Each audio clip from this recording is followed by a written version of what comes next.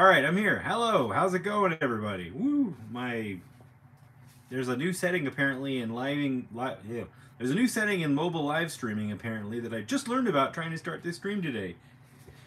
Surprise. Okay. how's it going? How's everybody doing? Woo, I was getting super angry at my phone there for a second. What is YouTube doing? Let's see, should we do a pop collar stream? Probably not. All right. Hello, all of you that are watching. Thank you for the likes. Let's catch up our diorama. Uh, earlier this week, I did a members only live stream where we just talked and hung out, and I black washed the diorama. And well, no, actually, I toilet papered the diorama, and I black washed it the other day, and I painted the rocks. And I'll go over that with you guys uh, here too. But thanks for coming back. Uh, trying to get this diorama wrapped up in this stream and the next one that we're doing. Uh, so we can get to the giveaways, the new channel changes and announcements, and the next live stream dio. Uh, so we'll be uh, having all that happen in the next couple of weeks.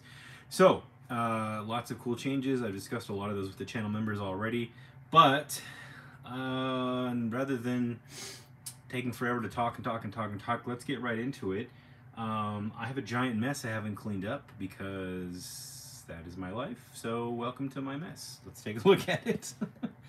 All right, mess. Okay. So I painted the rock formations. Where's my camera? There we are. I painted the rock formations um, to my liking.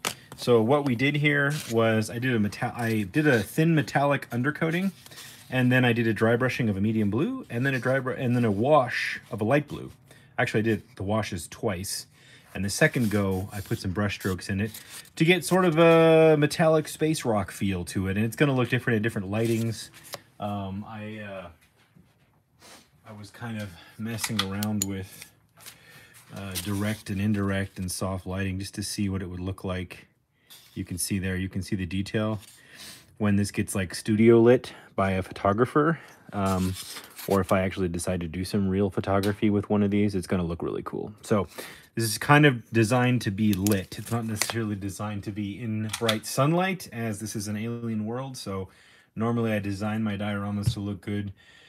If it's a normal human world or like Tatooine or something to look good in bright, bright sunlight uh, so that it can be, it'll look good in any situation. But this one, I'm kind of deciding to look good when it get uh, when it gets lit. So yeah, um, let me just uh, clean up a little bit of my mess here. This is some of the remnants of my washes. It's a really pretty blue. Makes me want to drink it. Don't drink paint water, kids. And I was just testing the rock to see what it looked like because I went with a sort of a richer blue on the rock, but I wanted the the um, the stuff we created on the first stream um, to to look like it was uh, chipped up and sort of gravelized, and it may may have been chipped off this rock and it had been tumbled in the weather, and then it was placed with the landscaping of the scenery, something like that. So I was doing some tests, and so we did the toilet paper texture method on my member stream, which you can go watch in my um, space bamboo diorama video. If you have not seen my space bamboo diorama video, check it out because I go over this entire method in the video in detail. But it's just uh, toilet paper Mod Podge water um, and spreading it all over the diorama uh, to your liking to get a really, really cool earth texture, uh, which I'll show you here in close-up. See that texture? And I sprinkled a little bit of sand and a little bit of gravel, and then we're going to add this over it. That's not glued down yet. That was just to do a little visual. But you can see there's a lot of different tones of pinky, purpley, blueies, metallicies in those rocks. And I've been going back and forth about what color I actually want to do the ground in, and I think I finally decided. I was looking at color wheels today, like actual color charts of complementary colors, trying to figure out if I wanted to go complementary opposite or complementary same tone or do something wild. I was like, I was even thinking about a rainbow diorama, like where every single color is different for each object, but they're in a like a value range that works together. Um, but then I was like, nah, that's a little bit too wild for this. Maybe for the next one, I'll do something like that. But I think I settled on purpley, dark purpley to violet earth with tones of red and the blue rock popping up through. I think that's going to look really cool. And it will also complement uh, or support the purple and white tones we did in this. And then the green tubing uh, and the green highlights on the electro on the uh, mechanical stuff is what's gonna what's gonna stand out. I think that's what I'm gonna do. If it looks like crud, we can always repaint it. It's not a big deal. Like two two one repaint, you know, you can paint you can paint over a texture like this like once without ruining the texture. So we'll see. I, I try not to do that. And I glued down a bunch of hexagonally shaped tiles back there uh, that I had left over from my Bat Cave diorama that I made like three years ago, which is the premiere video on my channel. So if you go to my channel's landing page, you can watch part one, because it's a three-part series, technically four if you include the electrical video, because that was kind of part four of that. But the three-part series on building a giant miniature Bat Cave playset, uh, I used hexagons on the floor of the Bat Cave and these were leftover castings I did because I actually made my own tile and my own dump mold and made cast tiles. And I had those left over. I was saving them for a project, and apparently it was this project. So, flashlight. Um, this is my wash that I made, and I made way too much of it. So, you know, that's kind of just like a thing I do. I make too much of a wash. I'll set it aside. I might decide to use this on, on the rocks again later. But, oh, man let me uh, just clean up my space a little bit here so that we can actually do some work. These are amazing little tools, by the way. You can stab them in foam, clip stuff into them. Forgot why I got these out, but I'll put them away and then I'll remember and then I'll get them back out because that's what I do. Let me, uh, you know what, let me make this more entertaining for you guys here. I'll actually put myself in the frame while I clean up and talk instead of make you watch my hands while I clean up and talk. All right. Would you like a cup of blue? Oh boy. Man, stuff is everywhere today.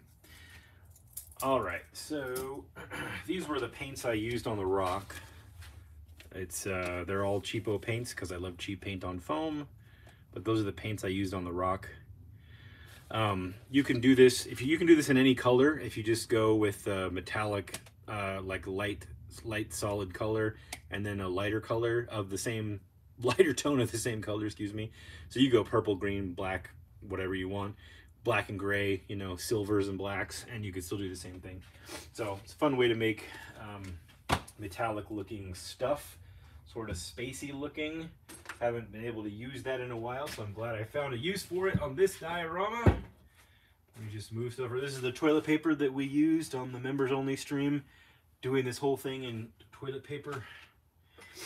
And uh, I got all my blues out because I wasn't sure which blues I wanted to use, but uh, some of these are drying out here, so I'm probably going to have to pick up some new blues. But I like to store my paints upside down like this, so I don't have to look at the caps. I can just look at the colors from the bottom and kind of pull a few out. So just a little tip there. Some people like to store them like this, like this. They like to put the paint on the cap. I tend to like this. I just like seeing the sea of colors. It almost look, it looks like a like the selection of paints at Home Depot when I open my paint drawer. Um, so anyways, I just like doing that.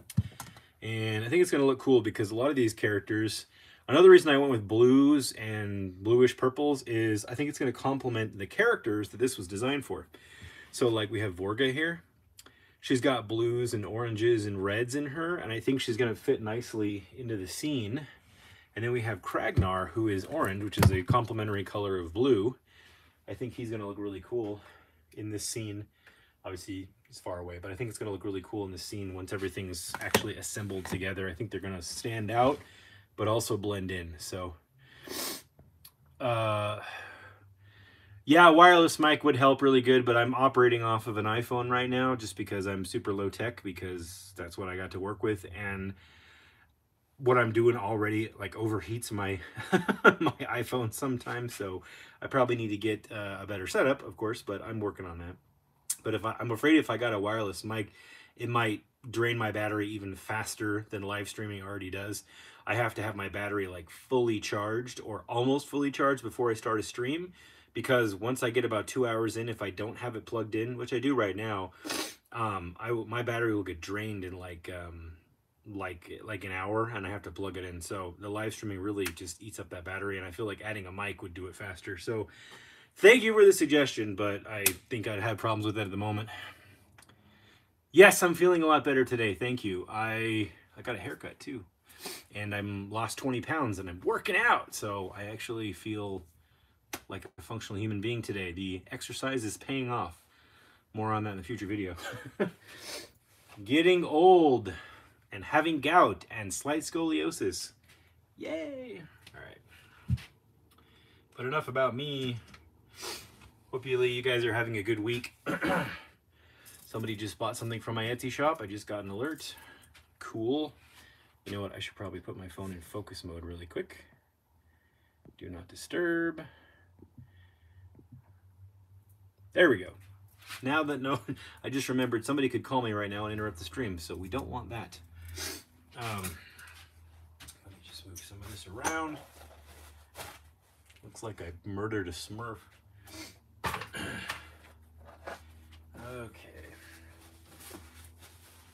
Let's bring this forward.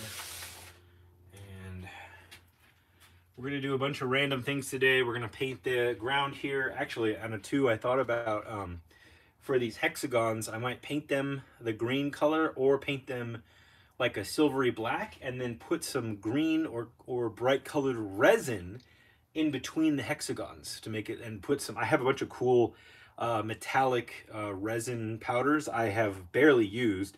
So this would be a fun project to put them in. And I want to, if you overuse them on something like this, it can look kind of weird. So I think it would be fun to use them just in like one area to do like a little highlight. So if I use the, uh, I have Total Boat clear resin that I use uh, for certain things. Um, I might get that and get out some of those some of those uh, metal flake powders and do a resin pour on these hexagons.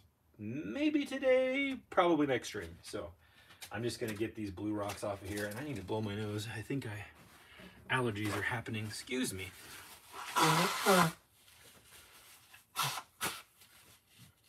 Mm. Exciting booger-based content. Okay. also clean. Oh, you know what? I cleaned my truck today, and I used Lysol disinfectant and a bunch of cleaners in my truck. I think they're just my body's still getting them out. All right. Close up. I like the way this one turned out a lot. Uh, the lighting's kind of dim on that, but I really like the way this one turned out. It's got like it looks like it's it's got a, a, look to it where you can see like the base mineral in it but it's been chipped away and weathered so it just this one i feel like even though it's like sort of hyper colored it looks the most real i went over rocks a lot with my members uh, on the first members only stream we did earlier this week and uh, i got really inspired to try to make this feel uh, minerally so you know, thank you to the members for joining me for that stream, by the way. So they know what I'm talking about. Let me figure out how to collect this efficiently. Probably a piece of poster board, or I could just use this binder really quick. Just get these rocks.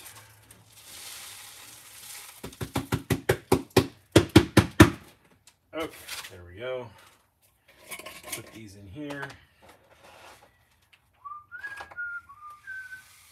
Oops. My blue kitty litter is going all over the place. There we go. That's okay. I made more than I needed. I can lose a little bit of it. Alrighty. So you can see there's a little bit of flecks of blue and stuff on here from me painting the rocks and putting them down before they were cured but you can see there in the lighting how much texture I got out of that.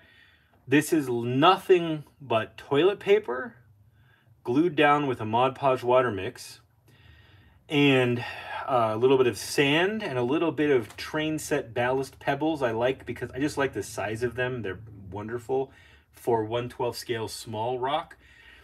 And where I did the path here, you can see there's a distinct texture kind of like from here coming around and back, that's the sort of pathway where in between that goes around this pump. And so, and I, I, I stuck my rocks and different things into uh, the toilet paper so that it would create these sort of divots. You can see the divot here. So I knew where to place my rocks back and possibly build up around them. I haven't decided yet, but I'm just gonna do some touch up here on these black colors. Um, and then we can actually add color. Like You know you've done a good job with texture if you've painted it one color and you can tilt it in your lighting and see all that texture. That That's how you know that no matter how you paint it, it's going to look pretty good. If you tilt it and you don't see much, I mean, maybe you're going for that. I don't know. Maybe you're going for a subtle texture. But when you're going for like a rough texture, but it's small and you can see it, like that you can't see. But as soon as you get an angle on it, it's all very visible. So that's, I'm very happy with the way that turned out. I love this method of texturing for, for like, you know, basic earth textures. It, I've never not liked it. Um, I've never not liked it. So, and then uh, I added the, uh, the sand and the gravel right into the toilet paper as it was still wet. So I didn't have to add it as another layer after it dried because that, that's just unnecessary. Larger pieces you should probably glue down, but we're not going to do larger pieces. The kitty litter is going to be the larger pieces for this. And the flock, I'm still figuring out how to place it and where to place it. I think I'll probably figure that out probably towards the end of the of the diorama, just because it's kind of a, it's meant to be a fill-in uh, color and texture, so I'm not too worried about that. But let's go ahead and do some touch-up here. And uh, let me put you guys in here. You guys can have the Dio cam today. The in Dio cam. Make sure you guys have a good view here.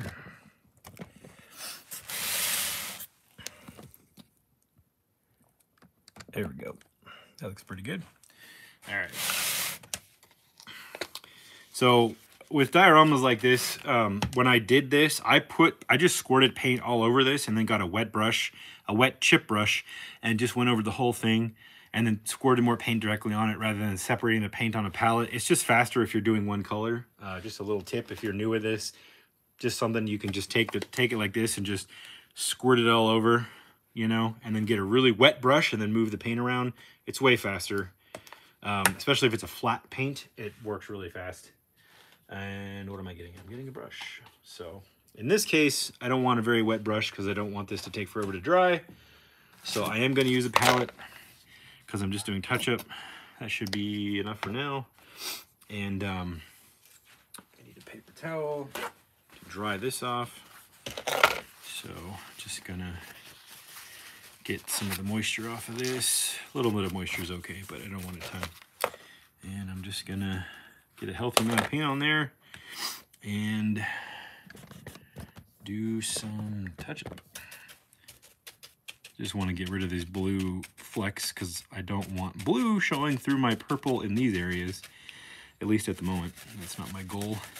So this, where there's a lot of sand texture, um, if you guys can see this, there it is, where there's a lot of sand texture here, um, uh, my brush, brush bristles don't want to get in there uh, because of the texture. This is where I'll wet my brush, just the tip of the brush, in my dirty paint water, and I'll just go like that, and it gets the paint to bleed into the texture.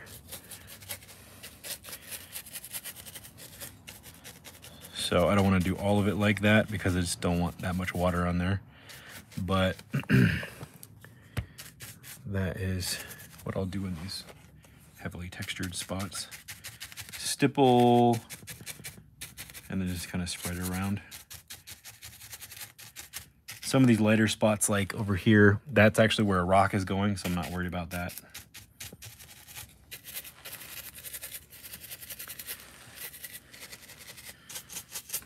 I don't know if any of you guys collect 1-6 scale figures, but uh, Terry Smith, who works for Sideshow Collectibles, just started a new Facebook group called the Poser Posse. And uh, he welcomed me into it and a bunch of other wonderful people and people that have YouTube channels and such. You guys should go check it out. He's uh, You can only post licensed figures, but it's all about posing figures. And um, so anyways, I do a lot of that uh, with some of the figure reviews I do and the dioramas I do. So if you guys are into that sort of thing on Facebook, go check out the Poser Posse and Terry might let you in. Terry's a really nice guy. So you've probably seen his channel too. He's uh, one of the guys who does a lot of the posing or did a lot of the posing um, for Sideshow um, collectibles in the past, he would do those figure posing session videos. But now he kind of does it on his own as far as the posing goes. but just something cool to check out. Just throwing that out there. Give Terry a shout out. Terry's a nice guy. All right. Think I got it all. Oh, now a little bit over here.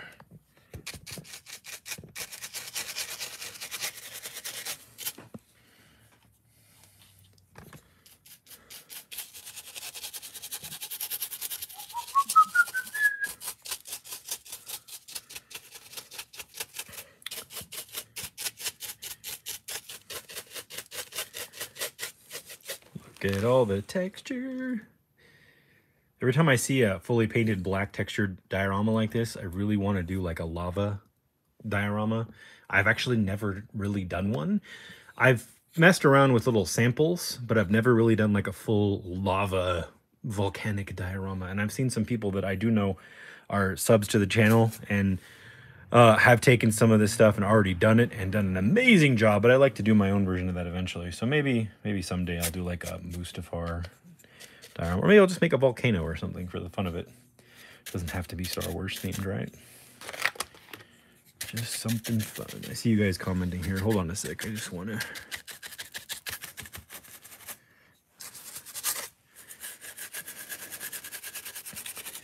Do this here, just make sure. I think we're good. Yeah, that's good. Okay. Let me flip this around and see what you guys are saying really quick. Hello. Oh, hello everybody. Hey everybody for being here. Channel members too. Fat Red Foo, Troy Dodson, New Future Customs, well Fishnet, Night Wolf 3176, Duffman Dioramas. I know I'm not normally live on this night, but I wanted to make up for being a little bit behind the last two weeks. Fine Tip Creative Studio. What's up, guys? Hey, I met them in Vegas at the InArt event. Those guys do a lot of cool unboxings as father and son, so go check them out if you're into that. Let's see, who else is here? I'm sure I missed somebody here. Hold on. Michael Dumas, I'm glad you could make it. Michael's always going, when is your stream? I'm glad you made it. Thank you, Hellcat. I appreciate that. Uh,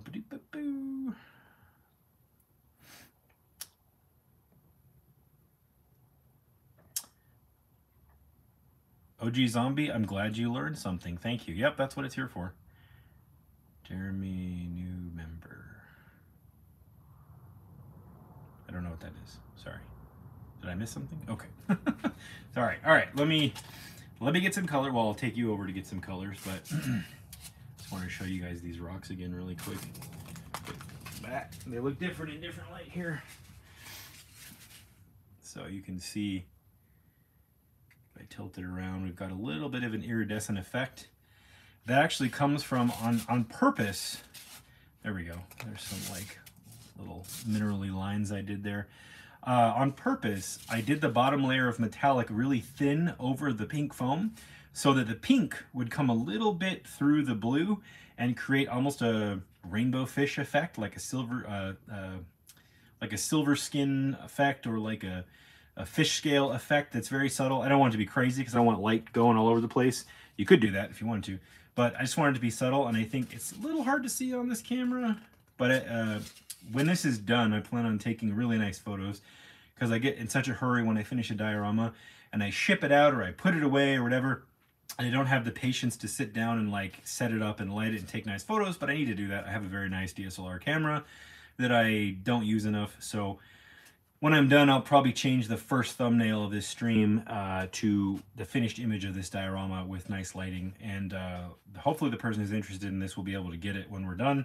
And they can take way more amazing photos with it than I ever will. And uh, hopefully we can see the full potential. Um, it's always nice to see if you get your, your work in the hands of like a real professional, how good they can do it. So yes, Fat Red Foo, like the inside of an abalone shell. Uh, just not full rainbow, you know, not like, you know, blue rainbow. All right, let's go look at my purple paints. And thankfully my shop is not super dirty today. Okay, this is what I'm talking about with the paints. These out of the way. Ba-dum, ba-dum. Don't fall over. Okay. This is the total boat resin that I have. And then uh, this is some of the metallic powder.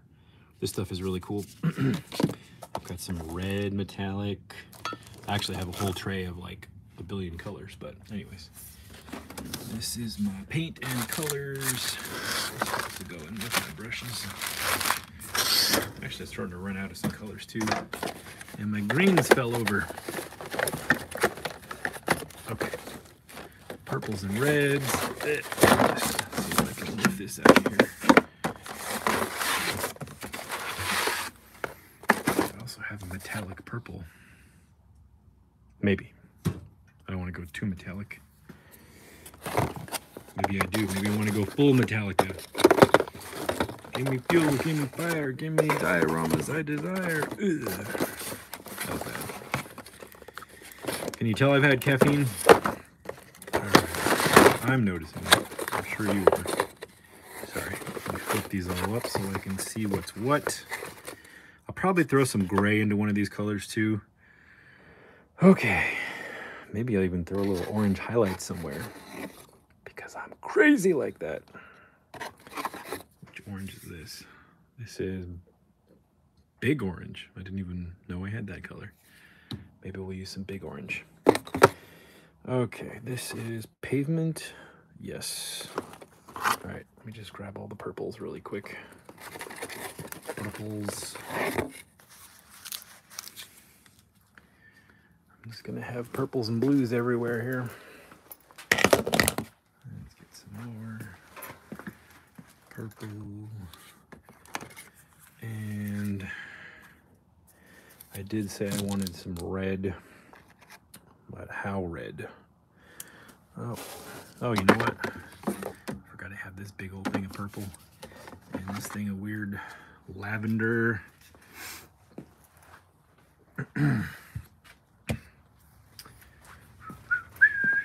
Little orange better than big orange? Is that what you're saying? Maybe. Spiced berry. I love this color. I feel like the name of this color and the look of this color would go great on the cup of a pumpkin spice latte. uh, real red. I love this color for brick as a base color for brick, by the way. Real red and red in this Appleberry or Apple Barrel Walmart brand actually makes great brick base color. Oops, another real red. This the hot rod red. That's probably too bright. All right, I'm gonna go with real red spiced berry. Right, tell you what, I'm gonna do like highlights, and I'll do the tip of the highlight with like orange or maybe an orange wash and just a couple of spots. I think that would that would be cool. We're gonna get really wacky because it's a space diorama. I want to mix in metallics. A really, really light wash of, oops, a really, really light wash of pinks on the rocks. Uh, it would probably just make it look a little bit more pink. Um, I don't know. Probably would be pretty subtle. Um, so, hold on a. Sorry about that. Slow down, Jordan. Okay. Uh, so see if I can show you what the blue what the blue did, the light blue wash. So see if you can see here. You see this sort of like really thin stroke lines right here? There we are. That is from this wash. That's from this wash. So if I did that with pink, I, I would assume I would get that, but it would probably just, because of all the blue layers I did, it would probably just start to muddle the top layer. If I didn't do the top wash in blue and I did it in pink, we'd have probably a different effect. Um, but at this point, I probably won't add that, but you should try that um, and see what it looks like. I think uh, if it was a very, very thin pink, it could add to it, like almost like a transparent pink would look cool. Actually, if I did it, if I actually, you know, it would look good with pink. If you got, if you mixed yourself up a transparent airbrush paint with pink, like a pink and a clear, and then did some subtle highlights across the flat surfaces um, with pink and um, like a clear in an airbrush, that would make it really look iridescent. When you start adding clear layers, clear color layers over this, that's when you get really, I don't know, fancy. I can't think of a good uh, synonym for the my. This is this is the best I can do. That whatever that is. um, I need. I have a thesaurus right there to help my brain, and uh, I never pick it up because you know whatever. All right, let me look at these purples. I'm to start with. So this is if you watch my minute how to paint miniature concrete video, which is one of my most popular videos on my channel. Thank you guys if you've watched that. If you haven't, go check it out because the techniques I go over in the how to paint miniature concrete uh, concrete apply to anything, to be frank. The concept of layering colors and washes and dry brushing, if you're using acrylic paint on anything, the concepts apply if you want to add a certain color or vibe. So you can change the colors and change what your the mood or the feeling you're trying to set uh, using the same techniques and get an interesting result. So if you kind of practice that concrete painting technique, you can apply it to anything. That's kind of what I did on these.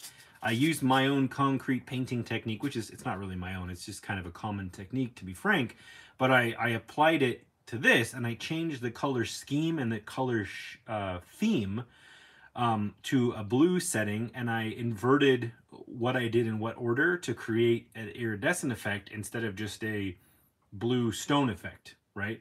So I'm going to do a similar thing on the base here where I did it black because I, I wanted the deepest, darkest crevices to look dark to almost paint lighting into the piece. I like to do that, uh, especially if it's a smaller piece because I don't know what lighting it's going to end up in in someone's house. So if I can make it have really, really deep values and really, really light values across a color theme, I feel like it looks lit without being lit, if that makes sense to you. There's probably an industry term for that, I don't know, but that's just how I describe it. So I went with a black base coat. I could have gone gray, I could have gone dark brown, I could have done purple, but I went with black because I want, as I dry brush over this and add colors and washes, I want the deepest, darkest areas that are the farthest back to look really dark against the lighter colors I add. So the lighter colors look lighter than they really are and it creates a higher contrast. Almost like I took a picture of something plain, put it in Photoshop and turned up the contrast. I like to paint a lot of things like that because I think it makes it look, it just has a stronger visual pop. For me, it's kind of my style. A lot, you know, a lot of people go hyper realistic and they go for subtlety. I have a hard time doing that. I can do that, but for some reason, when I look at it, when I've done it, it looks too flat to me, even though it probably looks correct to most people. My brain just doesn't like it. I like the higher vividness to it.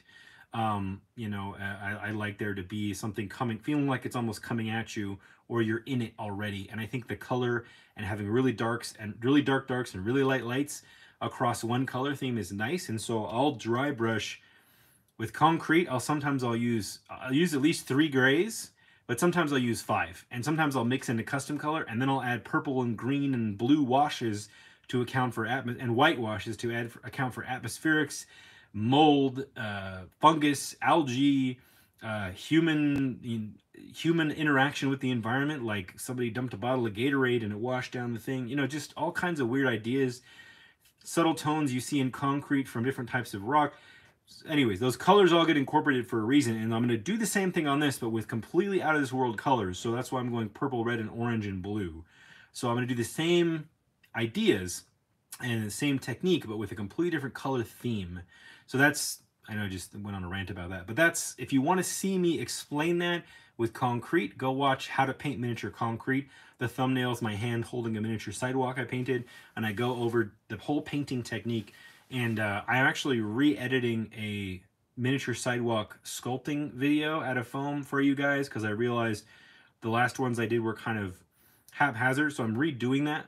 So I'll have a sculpting video if you need that. Uh, if you've never done that before, I'll have that coming out in a few weeks. Uh, so you can watch the painting technique, and if you don't already know how to carve the sidewalk in foam, you'll have that too uh, in a few weeks. So that's all coming. What's up, CH Anthony? Thanks for being here hand in the way. Uh, yeah, okay, so we have the purples. Purples. So this is where I break everything. But let me just show you, just to show you what I'm getting at too. Look at these colors next to each other without painting them first. And you'll see what I mean. I'm not going to use every one of these colors. I'll probably use three or four of them. Um, plug you guys in before my battery dies. And, okay. Do, do, do, purple. Purple is one of my favorite colors. Actually, it is my... Purple and orange are kind of my favorite colors anyways. Ask me that on a different day and it'll probably change, but that's what they are today. So...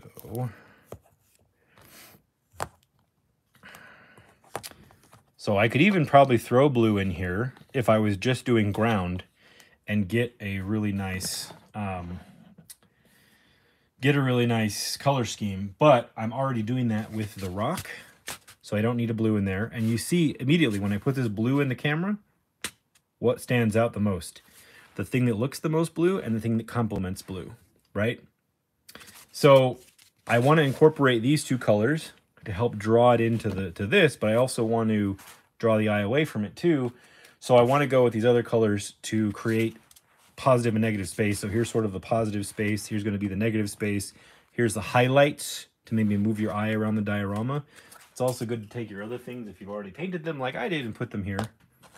And then you see these tones. I can see when I put this in frame, these three tones to me are the closest to this. I get this tone down here and these two tones up here. So what I when I look at this, I'm thinking I want to use these for sure as like midtones, or at least one or two of those. And then I'm going to take this out of frame, and I'm going to put this back. And I definitely want to use this tone somewhere. This is a pop, but I'll probably use this as a pop on top of these. So I'm actually going to use all three of these, but I'm going to be very subtle with these. And then I need sort of a base purple to dry brush. If I go too dark, it's going to be, I feel like this is going to be too dark. So I might go, maybe not. Maybe this is the right tone. I feel like these are almost too grapey looking, if that makes sense, like grapes. My brain is saying these are not correct for this diorama, so I'm going to take them out. And this doesn't feel right to me either. So maybe I'll mix these two. This feels too dark. This feels too light. Maybe I'll mix these two or I'll grab this and add some white or this and add some black or just mix them. And then I will dry brush maybe one of these and then do washes and then do highlights. And that will be our ground. And then I will come back in some areas where it's really bright and do some weird little pops, uh, if it makes sense. After I paint this, I might change my mind. But you see, I hope this is making sense to you. This is how my brain works. Um, and a lot of this I just kind of picked up from from just doing this a lot and realizing what sucked to me. Okay. Somebody said something. Makes me think of the color palette for the Taelons and Earth Final Conflict. That sounds familiar. I don't know why I can't think of what that is. Yep.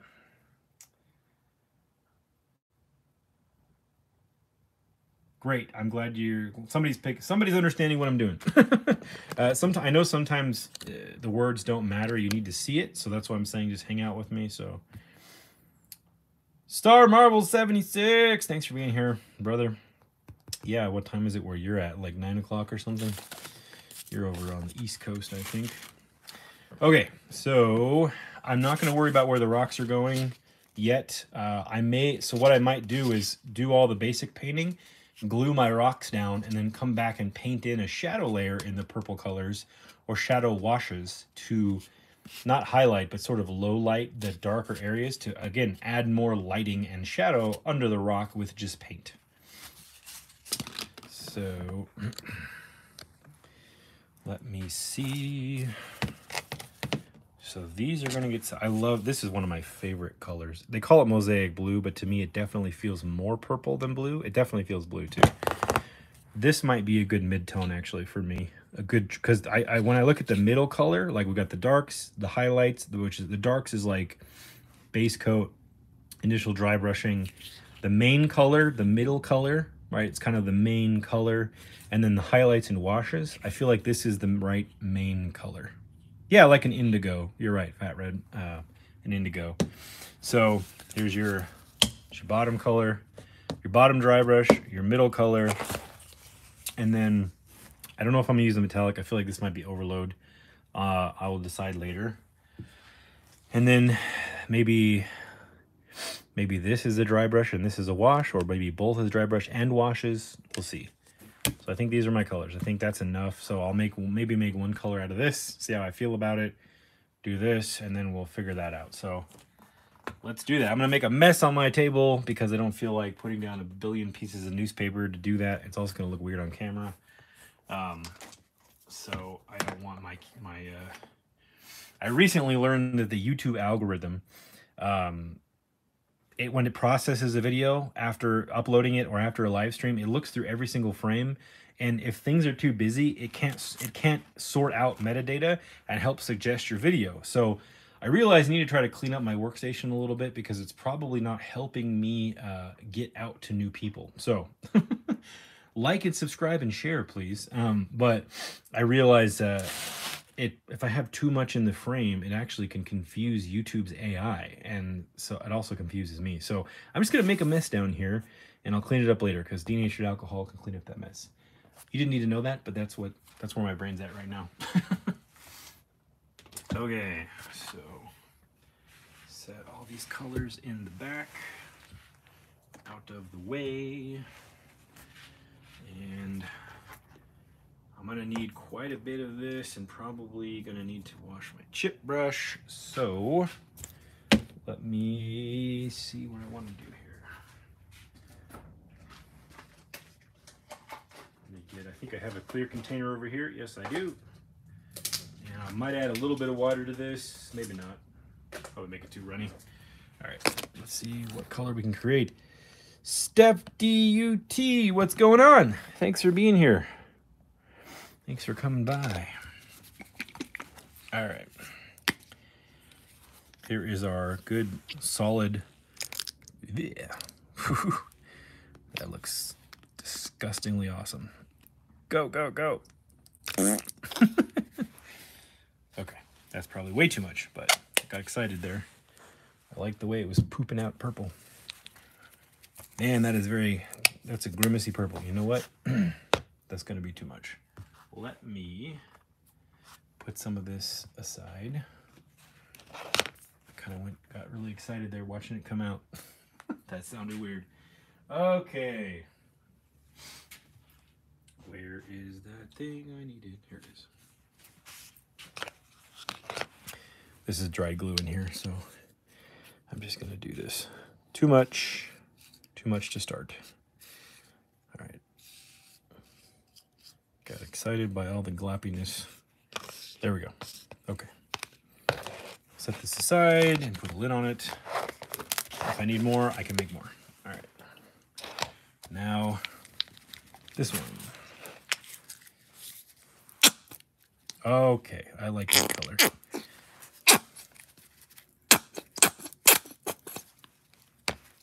I guess this just turned into an ASMR video. No idea what color this is too because the label's worn off. Oh, yeah, I guess so. All right. Yeah, caffeine and off days can put me into a weird mood. Sorry, everybody. yep, that looks good. Yep, Yep, yep, yep. This is looking like a Prince purple right here, man. Rain right here. My goodness.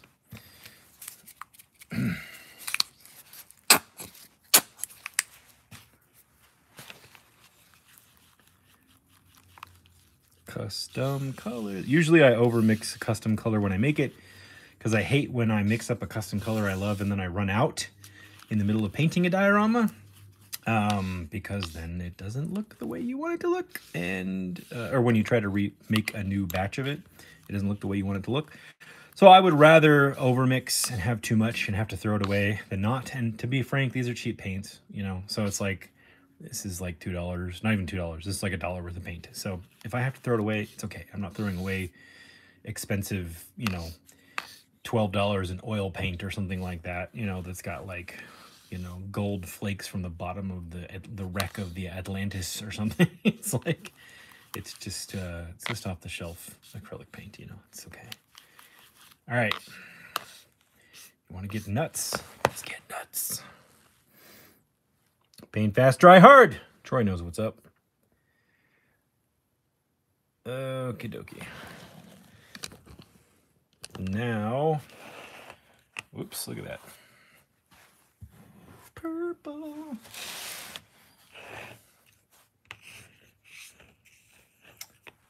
Need another paper towel.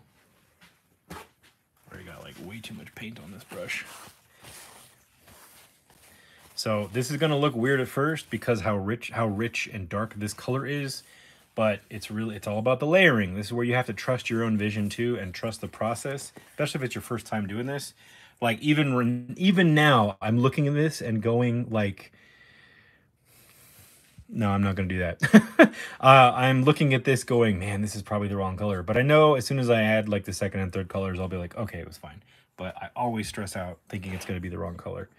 So I'm just wiping off so that it's dry, not really. And I'm just going to go lightly over it and hope that I don't put too much down the first time. Yeah. All right. Okay. Okay. I'm excited now. That's all you have to do to get me excited. Perfect. Yes. Unlimited purple. Is that what Darth Sidious yelled out? Unlimited purple. Yes. The washes are going to fill in all these cracks too over the black. So it's pretty high contrast now. I'm going to take some of that down a notch, but I want that dark in there to give a richness to it and the lighting. So and as you get paint off your brush, um, you can you'll find you can push down harder if you're dry brushing. So like that's me. At first I went a little bit slow just to make sure I didn't have too much paint coming off of it. And now that I'm confident in how much paint is on the brush, and then the color looks the way I want, or at least conceptually the way that I want, I'm more confident. Yeah, you see that texture? You see that texture? Toilet paper. See the toilet paper right there. It's just toilet paper. And sand. And amazing special ingredient that no one else knows about called time.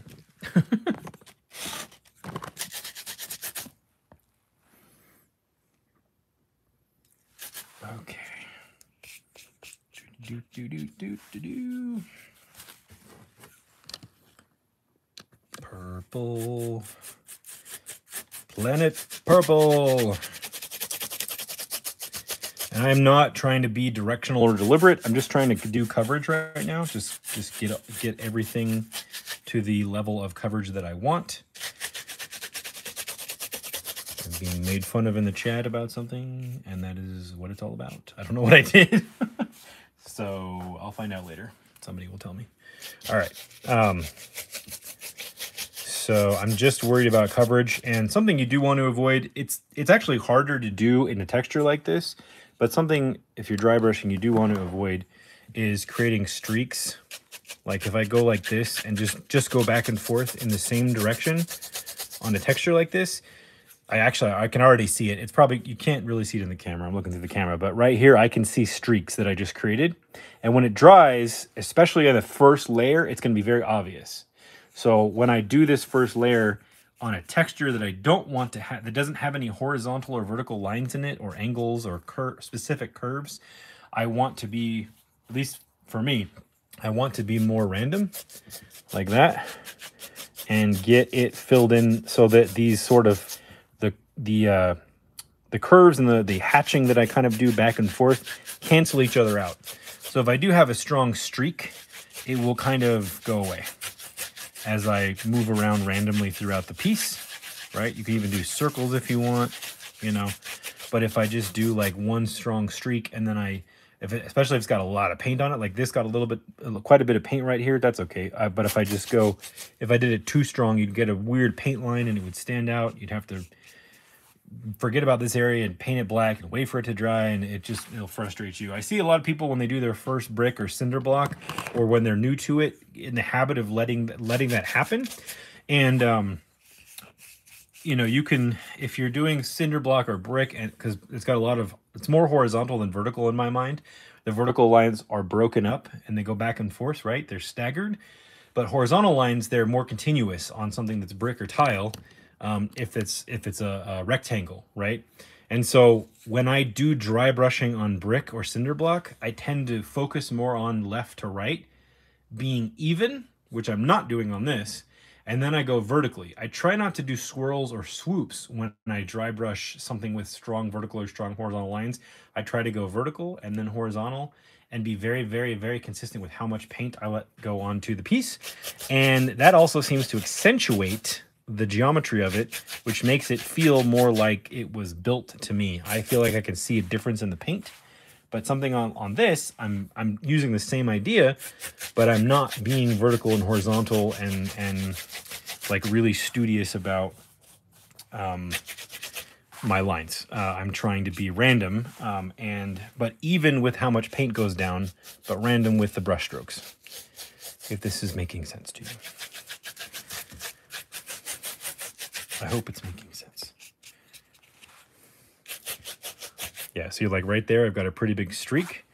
I got a little bit of more paint on that than I thought I had, and I'm just going to come back around it and just kind of blend it out.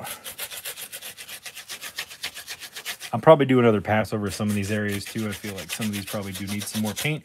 When you, you do your first coat too, it's going to start to, yes, C.H. Anthony, I'm avoiding repeating patterns. You're correct.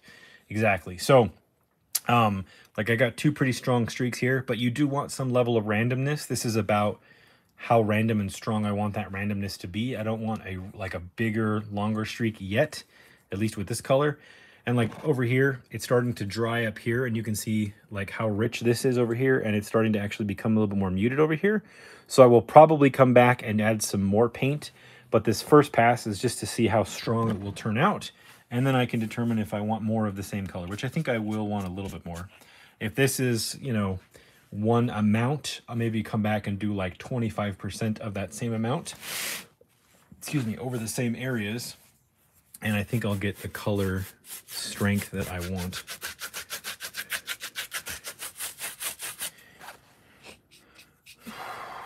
I'm very happy with the way this is looking right now. I'm glad you're all here for it. So again, shameless self-plug. If you go watch my Space Bamboo video, which has ridiculous music that I wrote myself in it, that I probably too loud, but you can uh, watch that video where I explain how to do the toilet paper technique. And you can go watch my How to Paint Miniature Concrete video to get a, more sort of linear showing of how I do this paint technique in a smaller period of time. If you need a refresher without watching this whole stream again later uh, you can go check that out. Oops.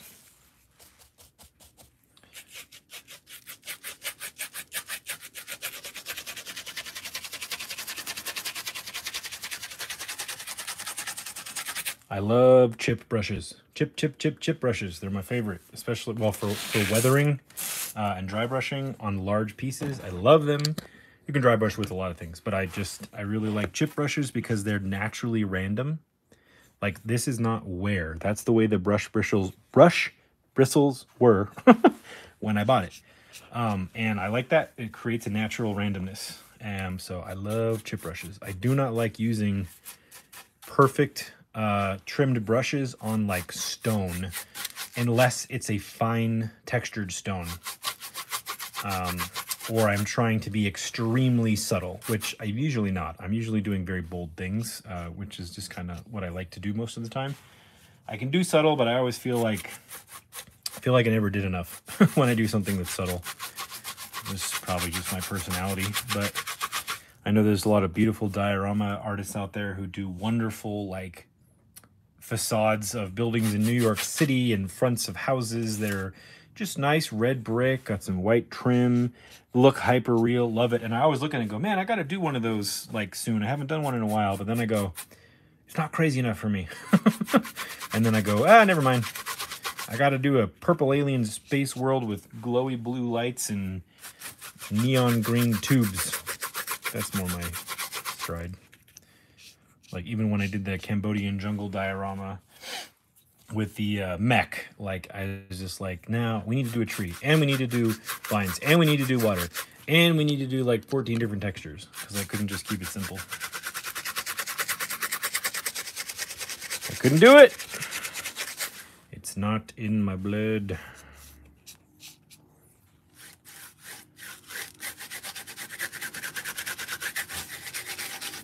This, I'm not too worried about this area because it's going to be covered by rocks. That there's a problem or anything, but...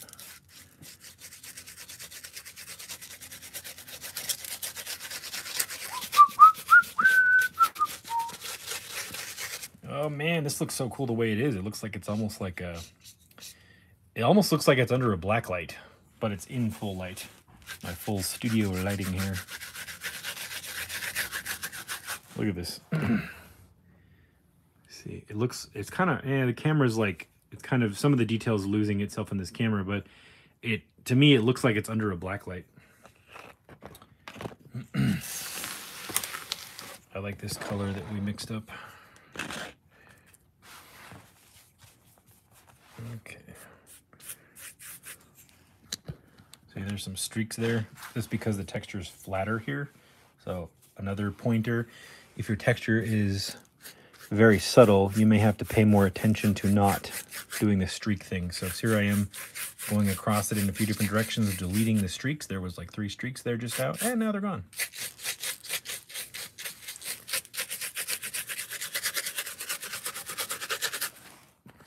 Boom.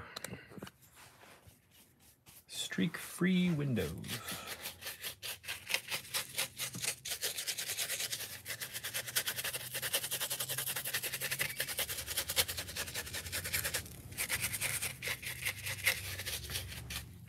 Super high contrast purple planet of purpleness.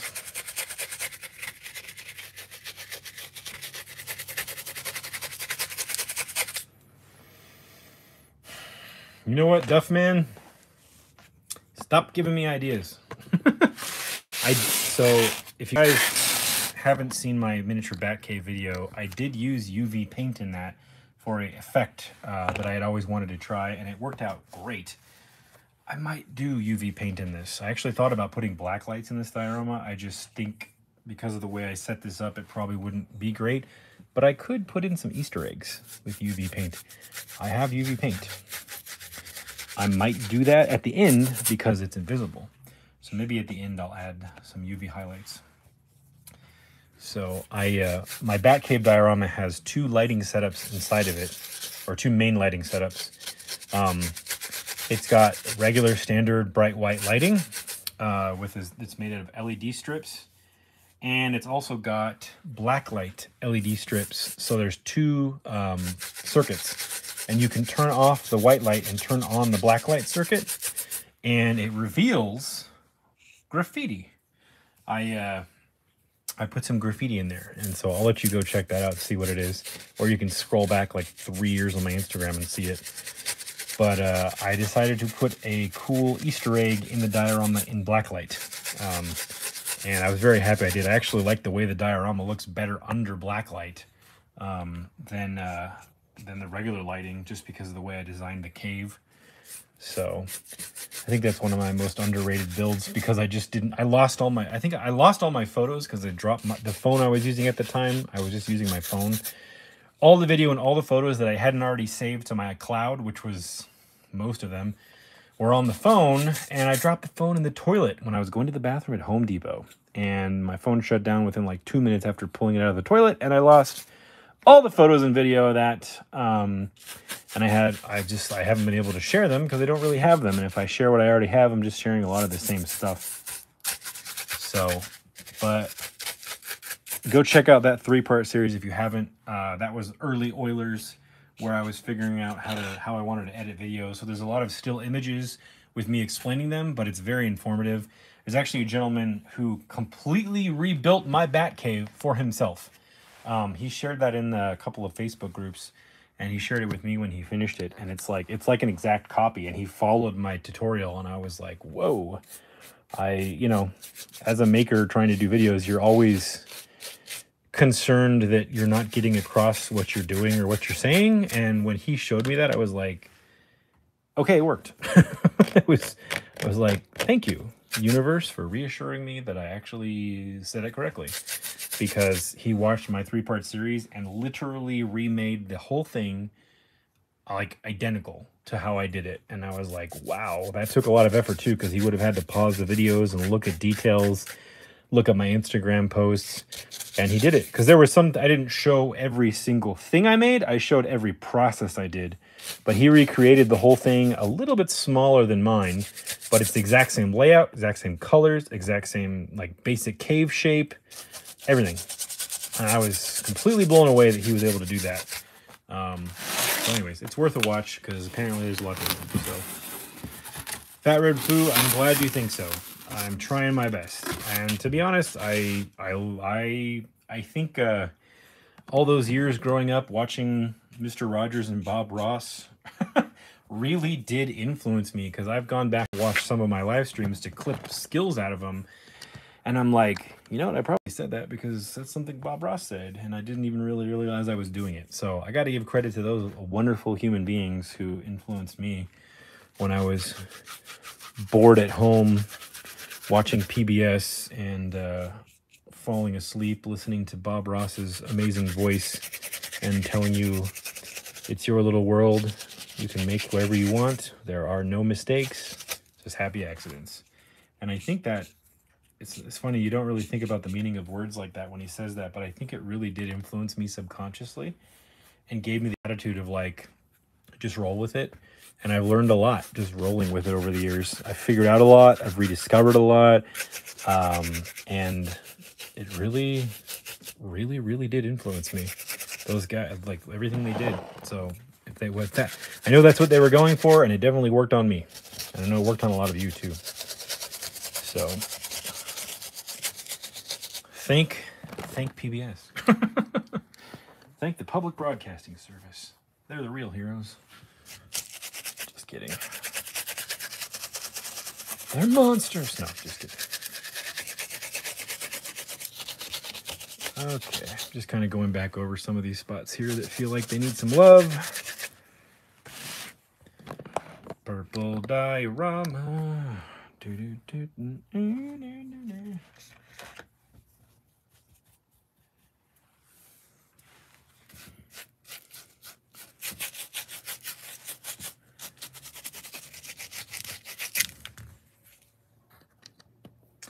CH Anthony, I'm 100% with there with there with you.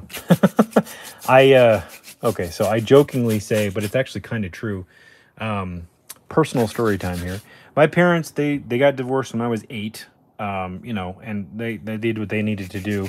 But there was a period of several years, and they know this. I've talked to them about this, where I was sort of emotionally on my own while they were trying to sort out what they were dealing with and i'm you know i unfortunately i developed a lot of bad habits from that that i had to overcome and i, I and i had to learn to work through. But i developed a lot of there were a lot of good things that were around at that time that did give me good examples to follow while i sorted out my own feelings as a child. Bob ross levar burton mr rogers they really they really were what they were trying to be. They really really really were and I even now I I think I'm like, man, I cannot believe how good of an effect those shows did have on me while I was a youth going through a very hard time and seeing good examples, especially particularly me because I'm a man, seeing good examples of good men being good, doing good things that were wholesome I cannot believe how much that stuff influenced me in a good way. And I mean, if I could meet these individuals in real life and thank them, and if there was a way to do that, I would. Um, but I feel like just carrying on that legacy in whatever small ways I can in my own life is the way to do that, the way to pay that back. So that's why that's part of the reason why, uh, for other reasons too. You know, my my my the what what I believe in in my core beliefs as well. But it's one of the reasons why I try to keep a neutral theme on this channel and I try to make everything accessible to everyone. I don't I don't I don't ever want to do anything that makes anybody feel like they can't enjoy being here or they're not included or they would feel odd. Uh, I just want to have a good time making fun neutral things with everybody. And I think that's that's that's where a very large part of that came from uh, as a youth and you know more of my life has influenced that but I know a lot of you feel the same. Um, so I think that's why I think that's why we all enjoy each other's channels and content and doing this. And I think that's why there's so many people doing it that are in the age brackets we are and new people discovering it and old people going back to it uh, because there's a, a wholesome nostalgia that makes us feel at home, that makes us feel content, that makes us feel safe. And I love it. I want to live in that space as long as I can. So I'm glad you guys are here with me, and please feel free to keep me in check. If I ever do anything that uh, offends anybody, I, I never mean to. I'm just trying to have a good time and and make art. There's a big sign. I think I've talked about it before. There's the Reno, the generator in Reno, where these artists build these enormous art projects, and they have a big sign painted on the back of the wall that says "Shut up and make art." And uh, I always wanted to steal that. Put it on my wall. It's like, stop thinking about that. Stop having anxiety. Let this be your, your calming thing. Shut up and make art. Don't worry about the rest. If you need a break, an art break, just take an art break. You know? Ramen, brother. Ramen. Okay, I think I'm happy with the amount of purple that's on here. I feel like any more might be too much. Okay. Yeah. Oh, uh, Fat Red Fruit, you're right. I was going to say, too, to the whole people who raised me, I mentioned all the PBS people, but I also have to say The Simpsons. not that I'm saying, you know, I know there's, there's people out there who might not enjoy that or do enjoy that or, or were raised thinking that their parents told them that it's bad, but honestly, uh, they were they were uh, an example of a family that was meant by Matt Groening to feel relatable, right? And so, for all their imperfections and proclivities, that was something that I watched, and I never watched and thought this is a bad influence when there was arguments or whatever, I thought, oh, this makes me feel kind of normal. so I think that's actually one of the reasons The Simpsons was so it has been so successful is that it actually makes a normal family go, oh yeah, okay, I get all these jokes because we deal with some of that or our version of that or you know or a less cartoon version of that. You know, I I, I love that. so a lot of Simpsons um, as well as you know the good the the the more neutral stuff like you know Bob stuff that didn't take a side, but you know the PBS stuff. You know what I'm trying to say. Where is my lid? Okay, it's over here. All right.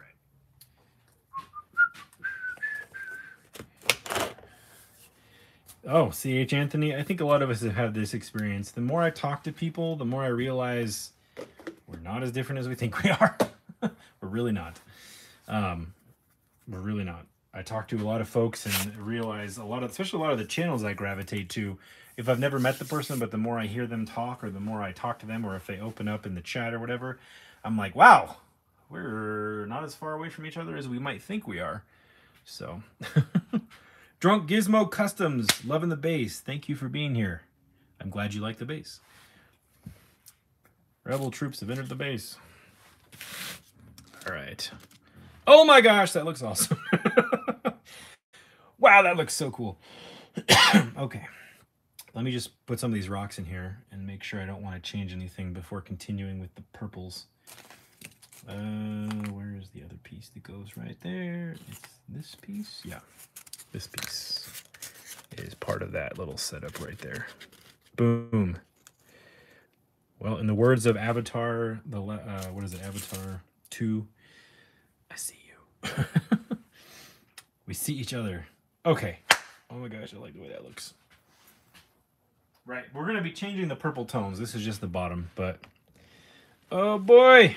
Oh my gosh, oh my gosh, oh my gosh. That looks better than I thought it was to look. To be honest. Wasn't sure how it was to turn out.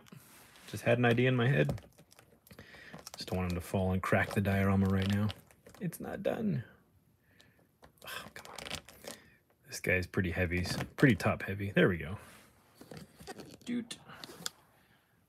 Just out of curiosity, put this over here. I think this goes right there. Put this one right here. This one goes up there. Oh, baby. Okay, yeah, I'm starting to see the vision coming together here. When we get that back wall on, that's going to be the kicker. Um, I have to build a, I'm going to build a, a wall over here and a wall over here that magnets together so I can take the wall off if I need to ship it or take it somewhere. These are going to be removable as well. So I have to build the, the sort of engineering for that, which is not that complex, but I uh, I just have to get that done. I'll probably do that off stream because it's kind of boring, or we could do it on stream if you guys want. It's just cutting a couple of angles and throwing some magnets in, which I've actually never demonstrated magnets on this channel. I know a lot of other channels have shown how to do that. Um, but I, I do want to do my version of that, which is not that different from other people, but maybe maybe we'll do that this stream or the next one, or I'll pre-cut the pieces and we can do it something like that. That looks cool. I'm curious what one of the gray dudes looks like in there. Yes. Yes. Charles Shadid. You always give your dioramas more of an organic and realistic look. Well, thank you. I will. I'm glad that you feel that way, and I do like. I like organic, and I like. I can do like I'm. I'm gonna do a lot more edgy stuff, kind of like this, you know, edges and angles. But I keep having ideas that flow like this, so I'm glad you like the way they look. Let's see what Oleg. Let's put a blue guy in the purple blue diorama. Oh yeah, he looks like he belongs on this planet. Okay. I am happy with the way that is looking. Yes. I don't have to repaint it. Now I just have to not ruin it. and I put the white on here because I knew it would contrast whatever we did on the ground. I wanted the edges to pop again with the whole high contrast highs, dark contrast lows, mid-tones being the main colors. That's why I did the white edging. So that was kind of my subconscious thinking at the time.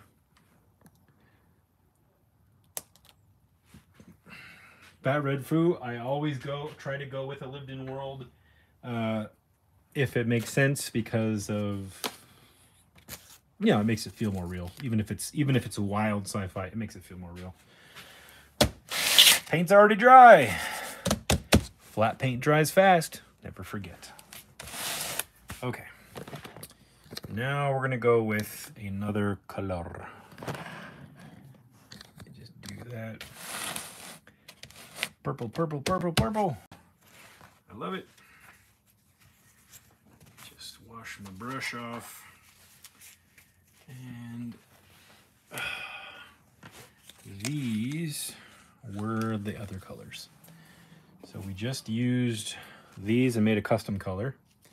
I'm gonna leave, I'm gonna set these aside just in case I need them uh, to correct a color or add, because sometimes I'll, I'll go over with another tone and I'll put too much and I need to go back and fix it. So it's always good to not put stuff away. Like these were those, this is the mixes that I made. I'm gonna keep these aside. If I don't need them by the time I'm done with the diorama, I'll probably just throw them away.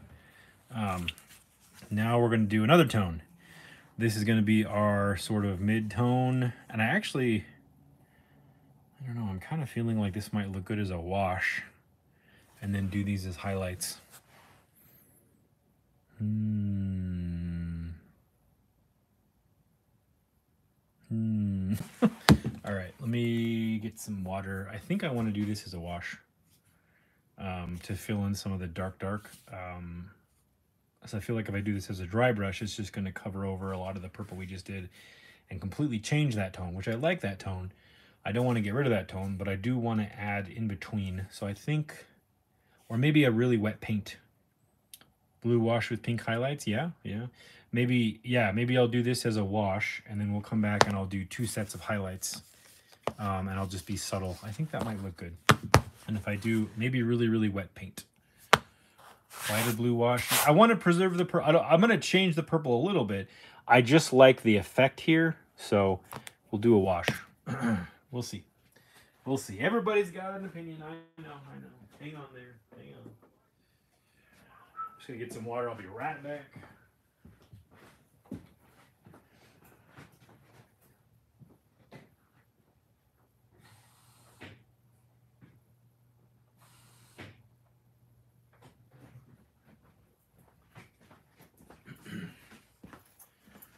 Okay. Got some tap water. You can use distilled if you're scared of tap water. I just use tap water, it works fine. Okay, so I'm gonna make a really, really thin paint that's, it's more like, not a wash, but some paint. So I always do the water first and then the paint, so the paint doesn't stick to the sides and change. Oh, God, I love that color. Okay. Oh, I like this color a lot. Let me wash off this brush really quick. Purple is my favorite color.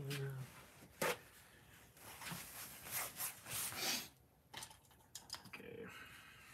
Let's get this cleaned up. I just wash this off in my dirty paint water because I like to add my paint, my whatever paint I'm mixing into my dirty paint water. It adds character to the dirty paint water.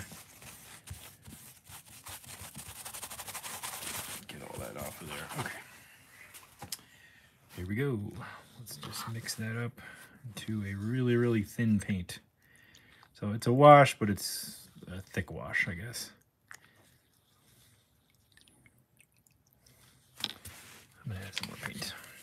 And I'm gonna keep some paper towels handy.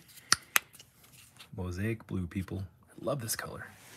Um, I forgot where I used it last. I did use it on something. I can't remember what I did it, use it on. But um, uh, what was I going to say? Oh, I'm going to put some paper towels on the side in case I need to soak it up because it, it can be too much. So I'm just going to, and what I might do too, I sometimes I'll do like wet painting with um,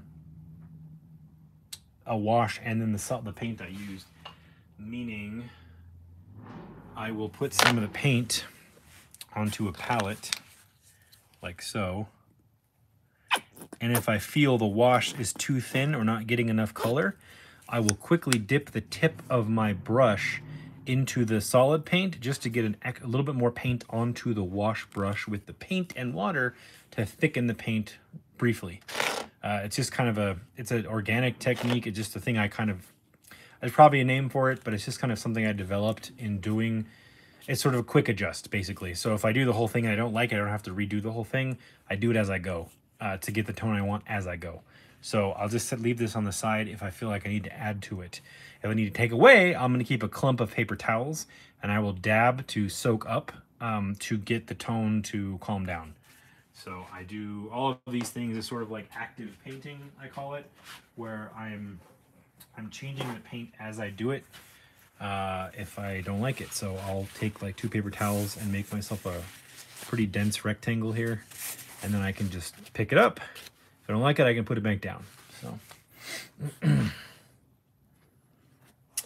this is a very snozberry-like color. You are correct. Uh, fat red food. No, uh, that was more teal. Yeah, I don't remember where I used this last. I might not have been on a live stream. It might have been on a custom or a commission I did in the past. I can't remember.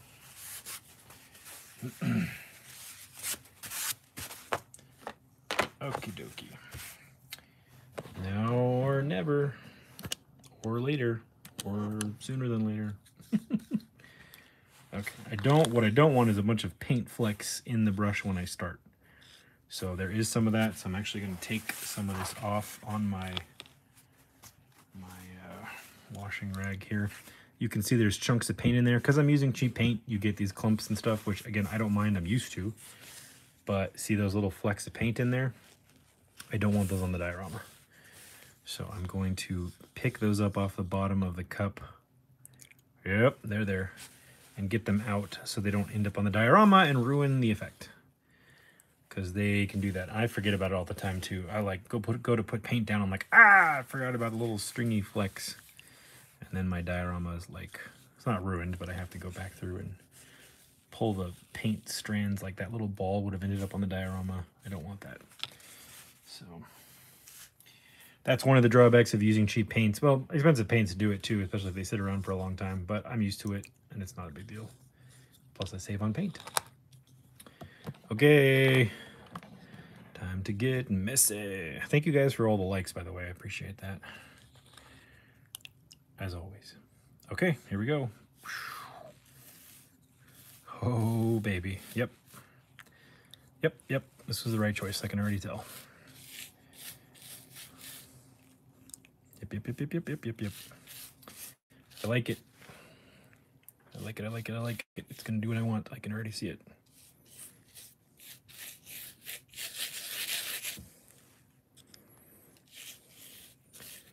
Another thing too is on these higher areas, right up here where I am with the brush, it's good to start on top and let the paint flow down. If you start on the bottom, you could get too much pooling, like I'm getting some pooling down here, and your color could end up denser than you want.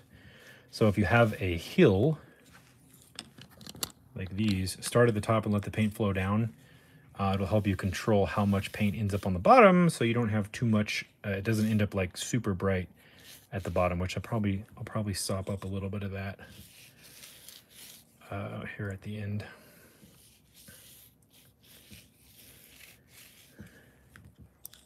And I'm gonna go back over it again. I can tell that's gonna, I'm probably gonna end up doing two coats of this because it looks really bright now, but trust me, as it dries, it's gonna, so I'm just taking this and picking up some of it so it doesn't pull too hard in there. I'll probably do two coats of this um, and I might even do a thicker coat. I'm already seeing it thin out up there and it's it's doing what I want, but I might want a little bit more of it. we'll see. We'll let it dry. Make a determination then.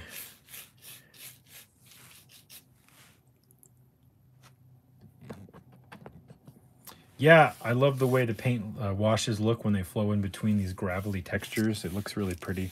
I'll get close up when I do one of these ledges over here and let you guys see it. It's a really a pretty thing to watch. It's actually probably something I should film for a short. People would probably like to watch it.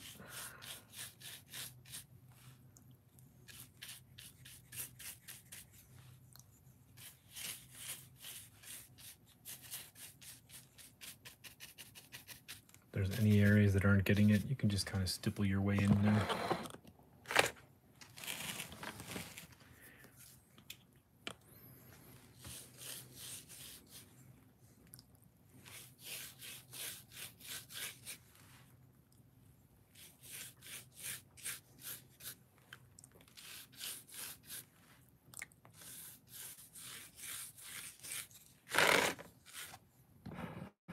Yep. Luminous. That's a good word for it. I think this is going to look awesome when it's lit. I can already tell this is going to be cool. Very happy. This is very much what I was going for, uh, like kind of what I had in my head. I hadn't picked the final color yet. I was originally thinking, I think when I said I was thinking like grays and blues, but the more I went with it and I did the colors of the buildings and the colors of the gas pumps, colors of the rock. I thought, I was like, blue doesn't feel right for the bluish gray doesn't feel right anymore. So don't be afraid to change your mind when you're working on something. I feel I was like, what's going to look good? Don't, you know, don't be so rigid. Like, I have to stick to my plan. And then you go, eh, I don't like it. Don't do that to yourself. If you feel like you should change it in the middle of it, then change it. It's totally cool.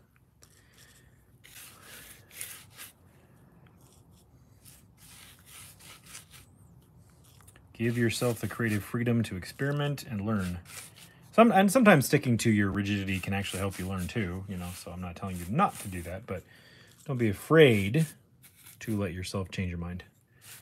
Some I honestly I think the stuff that I've done that I'm the most happy with is stuff that I change my mind on, you know.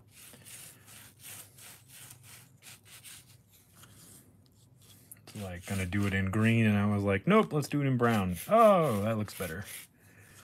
Or sometimes it even looks more like I was originally thinking after I changed my mind, you know?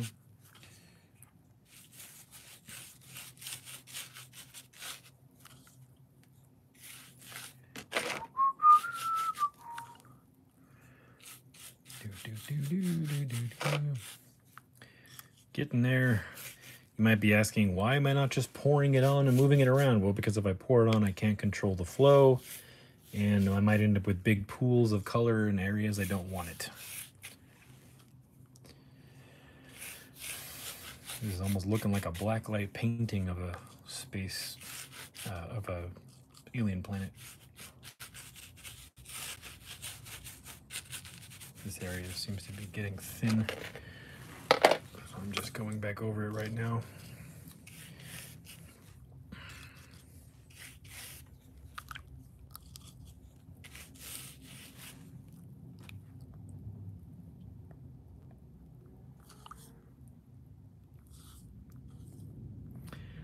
Get dry paint, what are you saying now? What's the best way to get dry paint up from a project if the paint is too thick? Like if you laid it on too thick and it's dried? It depends on what you've painted. There's a lot of different methods. Some are going to work better than others. Some might, in some, some cases, you might just be stuck.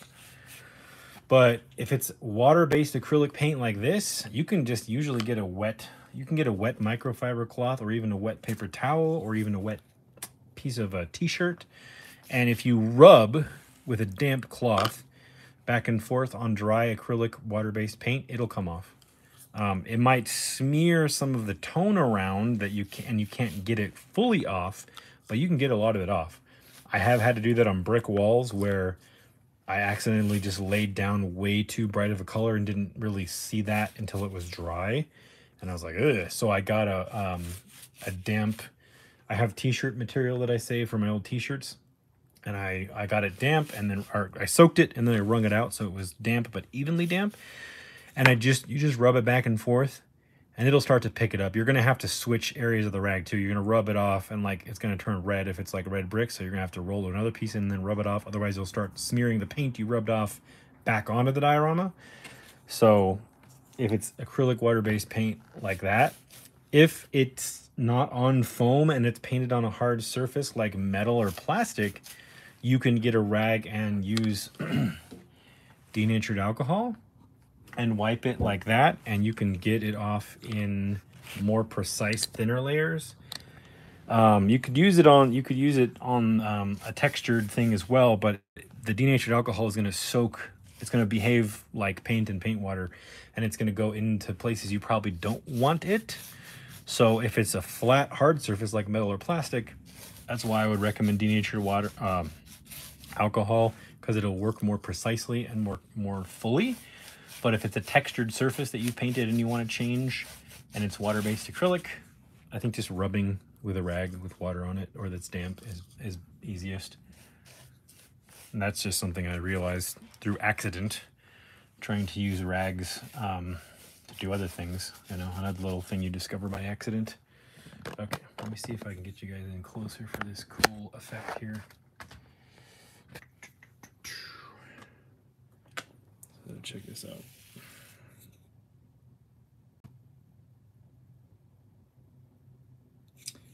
Pretty cool. Do it again over here, see if I can hold my hand more steady for you.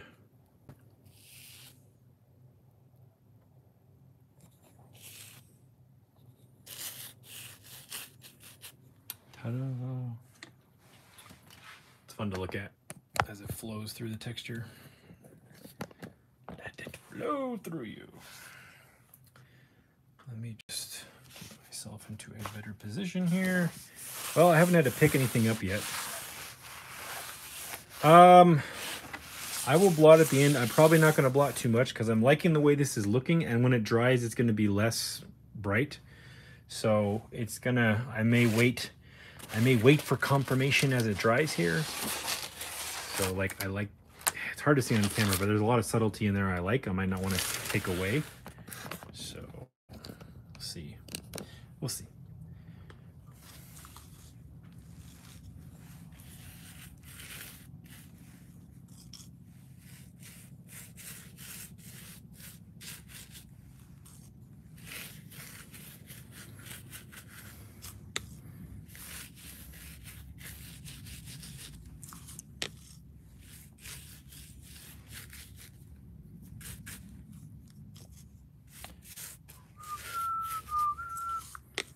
almost done with layer here. We'll see uh, if I need to blot or take it off. Um, it's kind of feeling pretty good the way it is. I see a few areas that could use it. I don't know. We'll see. And if I blot too much off, I can always add more later, but I'm, I'm just trying to do it in kind of the least amount of passes as possible since we are demonstrating live. I'm trying to do it with less repeats of the same steps if I can.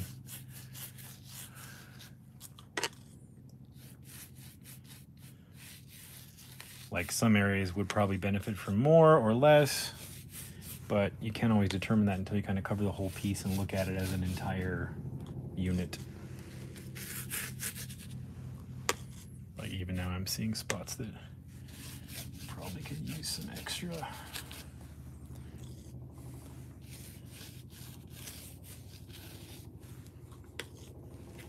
Like some of these little areas here. Looking.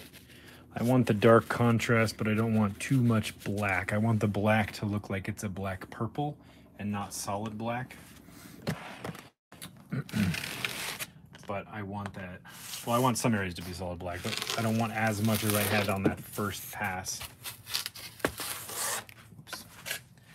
Of course, ah, I forgot about that. There it is, okay. Oh, that looks great. Okay, very happy with that. Let's put a blue rock back on this one here. See what it looks like with the blue rock. Do, do, do, Boom. Oh boy.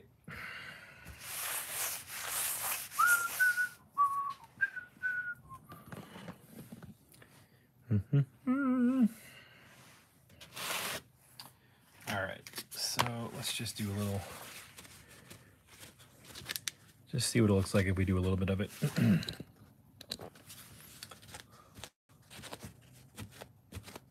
you actually feel like I need more of it, um, not less of it here.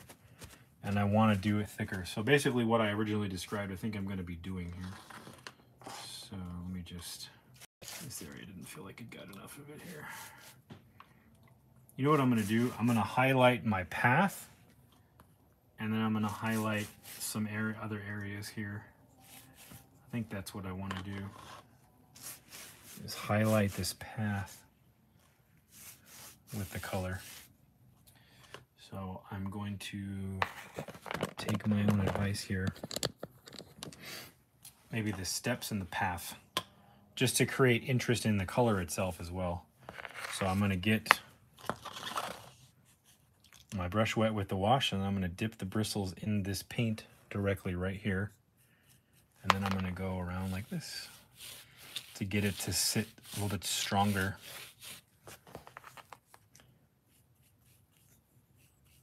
in the wash. It'll have a, stronger color in the wash.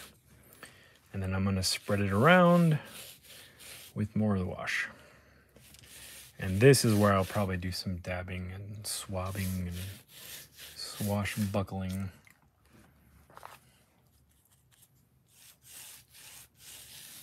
You'll notice as you get the wash brush into your paint, the paint will get thinner too, so you'll have to get more of it out of this, but sort of an evolving process. Yep, okay. Yeah, this is getting, this is looking closer to what I was thinking with some contrast. And then I'm just gonna, I'll blend the edges here in a minute so it's not like this line in the middle of the diorama.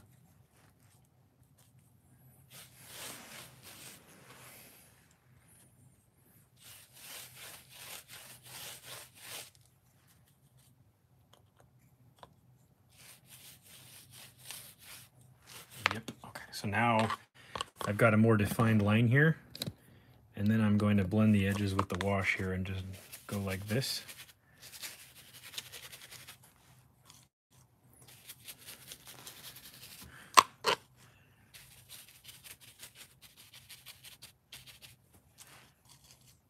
And so that it's not so direct. I just want a, shift to brighter to darker to draw the eye to this spot in the diorama.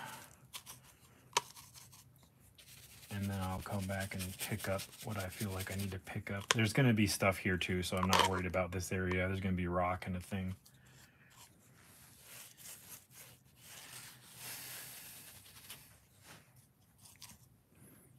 Add a little bit up here. Yep. You see what I'm going for here? Maybe I'll leave this dark tone down here to create an edge.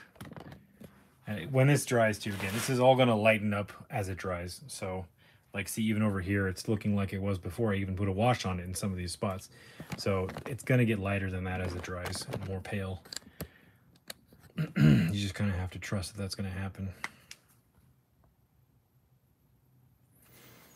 Okay. Get some of this and go into the steps. Highlight those steps. And I'm going to not do the vertical faces. Whoops. Hard to see there, sorry. I'm not going to do the vertical faces uh, of the steps. But I'm going to like do some stuff like this. Carry over the color like that. Create like a little dark spot here. Darker. Again, it's going to be very subtle as this dries, trust me. It's not going to be as rich as it looks now maybe a little up here on this ridge and down into there. And I'm gonna leave these vertical faces darker. You see how that already looks like it's lit from the top or the back? It's not, but the paint is making it look that way. So if somebody wanted to add, add more lighting, yeah, they could brighten this up or not. And even if it doesn't, it looks more defined and like sort of presentorial. You know, it looks like a, a display piece that way.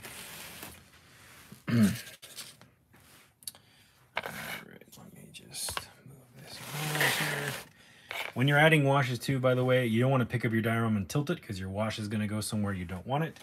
So just a little tip there. I'm trying to now just rotate this around.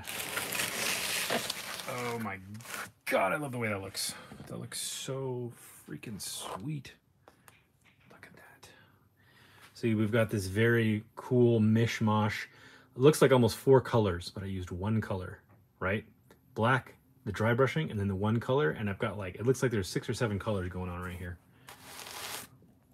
This is why I do this sort of wet painting and then dipping into the solid paint. You get a lot of variation in the same tone or in the same uh, color or with the same color, whatever. You know what I mean. just gotta get some more paint out here and just kind of keep this going.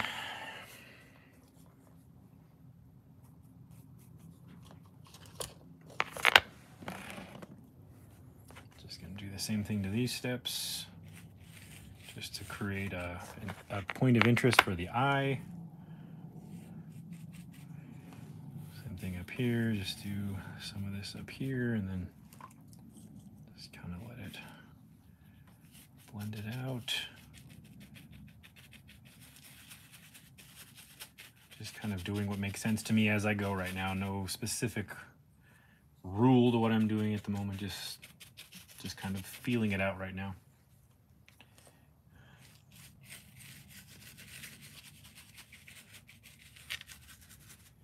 I feel like, you know, this spot's going to have a rock there. Okay. Very happy with the way this looks right now. I'm just going to let this dry. Maybe I'll do a little bit of dabbing. I'm going to give it a minute to keep drawing and see if it looks too bright in certain areas, but this is looking pretty good. I almost feel like I don't need highlights now with the way this is looking. We'll see as it goes. Okay, maybe I'm gonna do a little dabbing over here. Uh, maybe a little bit around where these rocks are gonna go, just so the rocks have a little bit more of a shadow under them. Like there's rocks going here, here, here, up against the wall over there, over here, and over there. So I chose not to try to highlight those areas so they would look more lit. and just take a little bit out of there. Just a little bit. I really like the tones that are in here, so I don't want to mess with it too much. Just kind of let them dry and see how muted they get.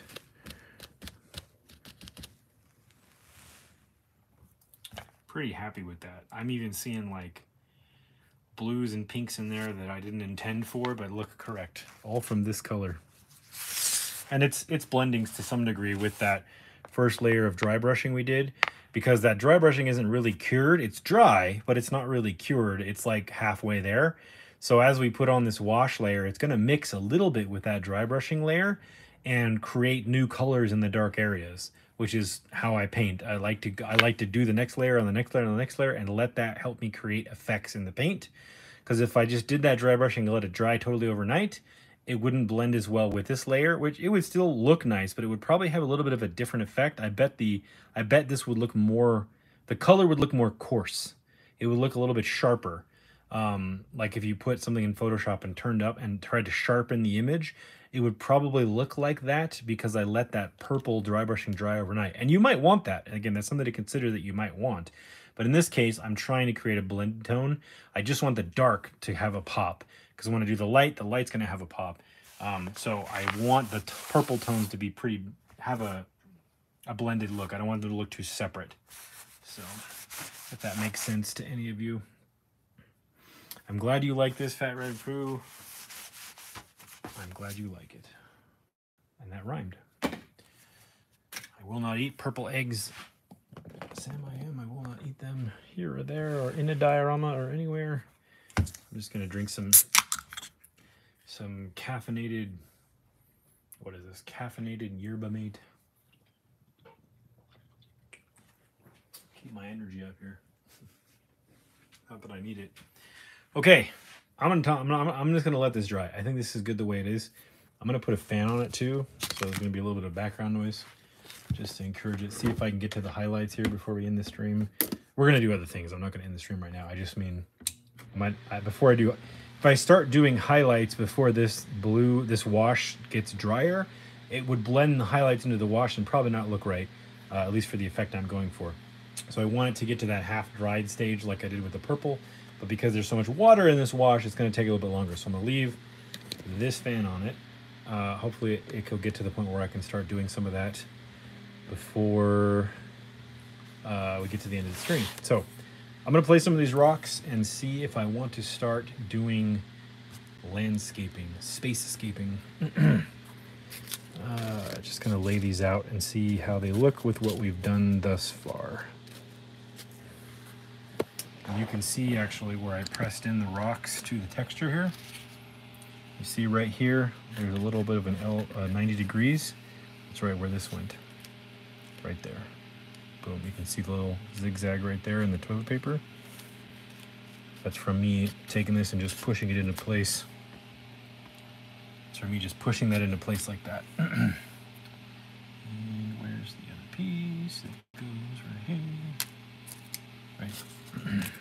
this, it came unglued from this, but that's right, I'll just glue it back in. That goes right there.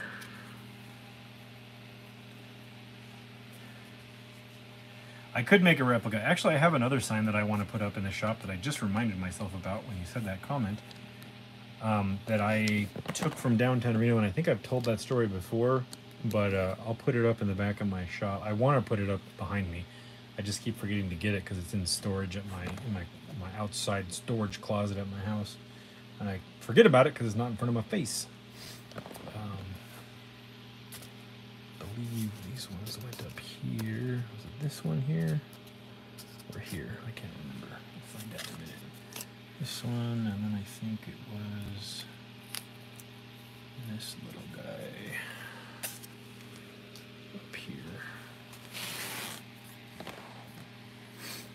It here? Yeah, I think it was that one there. Yep, that fits. That's, yeah. When I can move the whole dial, I think it's in the right spot. Yep. Okay, that one went there.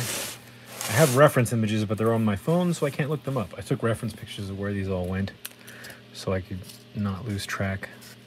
But these feel like they're fitting into the right spots. Yep. This one was I think I just had it chilling right in there like that. Yep.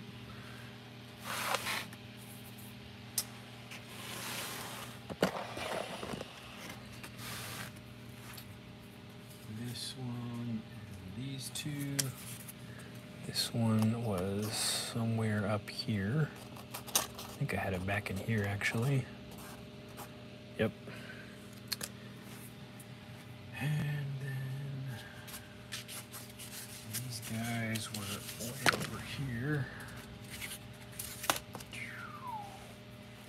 Should have some sewing needle pins. There they are. Thank you guys for the 34 likes. I really appreciate that. Thank you to everybody who's here still. So I had this like right there. I have this one like right in here.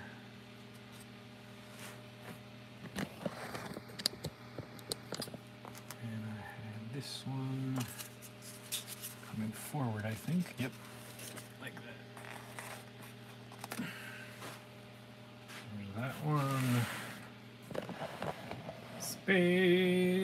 Spaceship Warlock. Drop a comment below if you know what that is. This guy fit into this little crevasse right there. And then I had these guys. I don't remember which one I put here.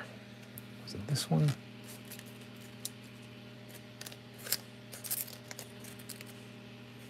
Nope. Uh, that one, that look, there we go. That looks like that fits. And I don't remember where this one went at all. this guy went right. There we go. Those are at the same angle. And this guy went right in here somewhere. And this guy.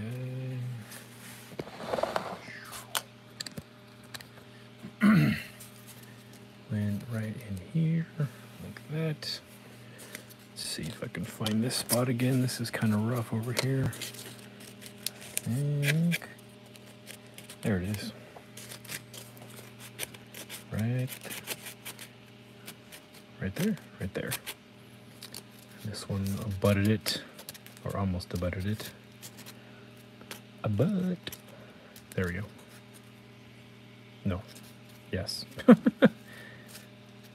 it's like Legos. Nope, it wasn't like that. That was more like, yeah, there we go. There we go. Trying to find these spots again. They were subtle. And this guy went right in here. Just about right. I'm trying to make sure these don't go off the diorama because if I ship this and this sticks out, this will break off. Um, or if I display it and somebody bumps it. So everything is meant to, I kind of drag my hands up from the side to make sure nothing's actually overlapping, even though it might give the effect that it is. Somewhere right in here, like that. Yeah, it looks right. Okay.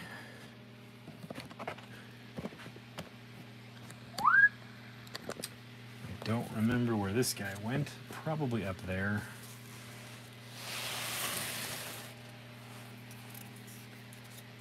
Have to look at my pictures later before I glue these down for a final glue.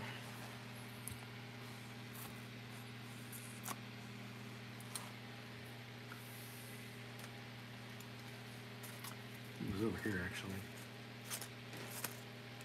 Nope. Nope, nope, nope. That looks kind of nice like that. For now, space diorama. It's coming along. Okay. As I let this dry, we can glue uh, together um, and put the other light strip on the other side of the wall because I never did that. I was gonna do it, I just didn't get around to it. So let us move this off to the side. Have these to highlight. Not gonna go with this, and we have these to highlight. We'll figure out the red and orange. I'm gonna make that very subtle, maybe in only one or two spots. So we're gonna keep these. Just moving the stuff out of the way here so I don't get confused as to what paints I've already used, because I'll probably forget if I don't do this. All right. this over here. J. Here. Boop. Put Kragnar in there really quick without touching the paint. Kragnar. Oops. Man, he's so tall. Okay. Kragnar. It's funny, this diorama looks so huge, but you put one of these guys in there and it's like, doesn't look that big anymore. From pink to white. What did you say? Sorry, whoops. What did you say? From pink to white to black and now purple. I feel like we've watched the seasons change in this diorama. yeah, yeah. It's uh, it's a journey. It's a journey. It's a journey.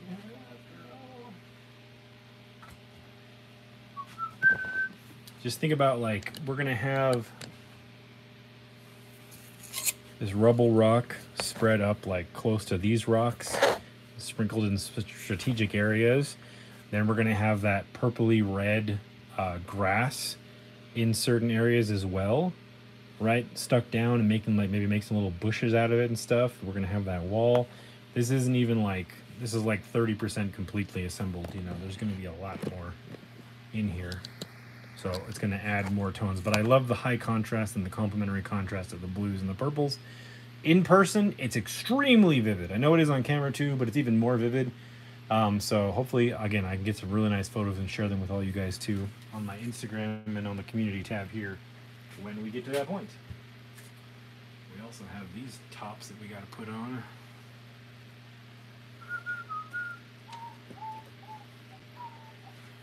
Those got to get painted, and that's another color that's going to go in there. Oh, you can't see them, can you? These things.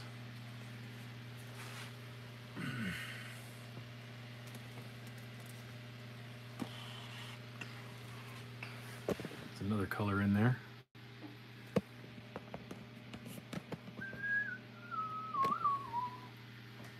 Yeah. Do do do do do ba boo. All right, grab the wall.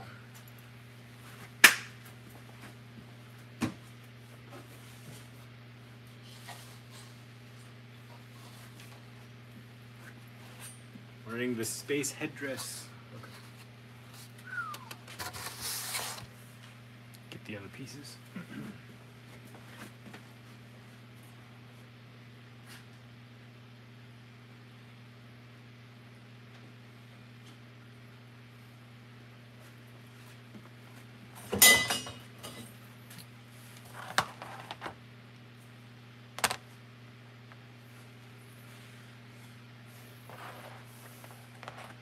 And I wasn't originally planning on leaving these red, but I might because it complements the colors in the diorama so well. Or I'll paint them, repaint them red.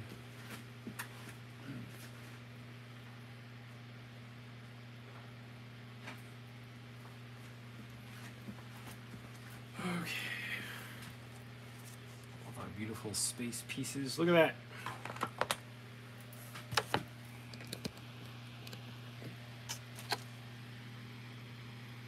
It all comes together. the red in there too. Look at that red pop.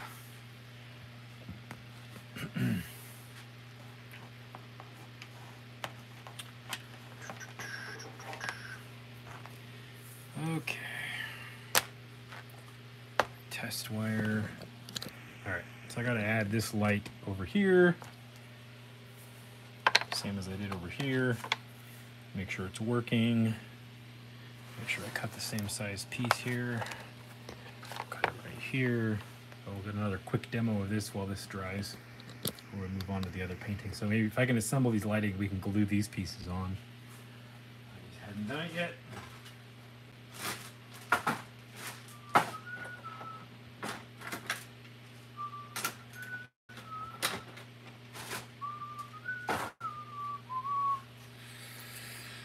Do do do do. Boop. A little baby light. Uh, here it is. Hobby knife.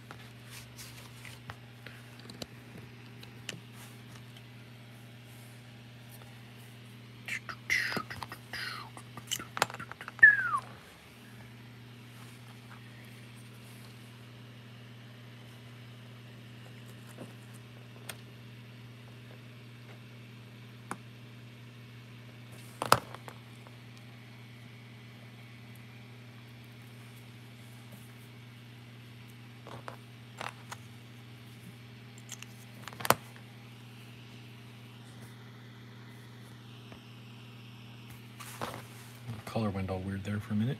I don't know why. But it did. Well, let me see if this is going to fit. This is our little DC connector cable here that we would plug into a properly rated 12 volt, 1 amp or less um, wall wart, which I demonstrated a couple streams ago, or last stream actually. Make sure this is going to work my wall wart.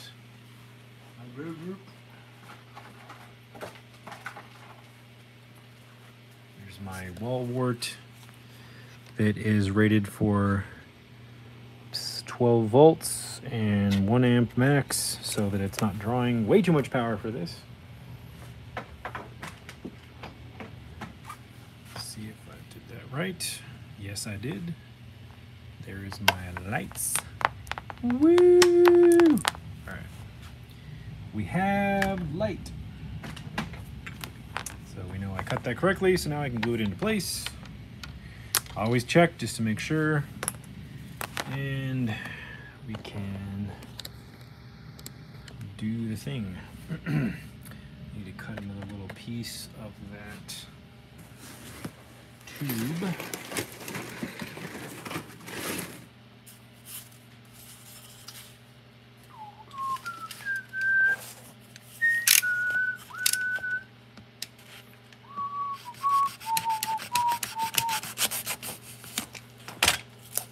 There's that. Always retract your blade.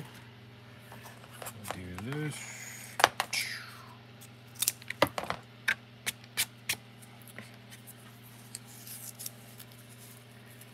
And I'm gonna go ahead and stick this into place. If I can get this stupid thing to peel off.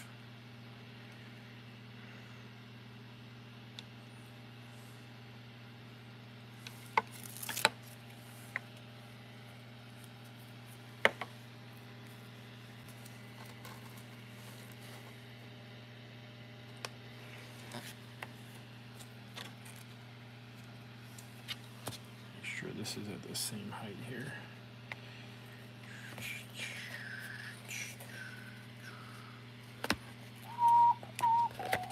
Go a little lower here. There we go.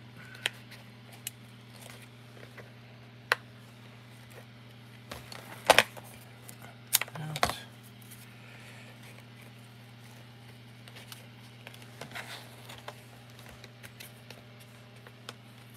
All right. There's my super glue. There it is. I can even open it. Eh.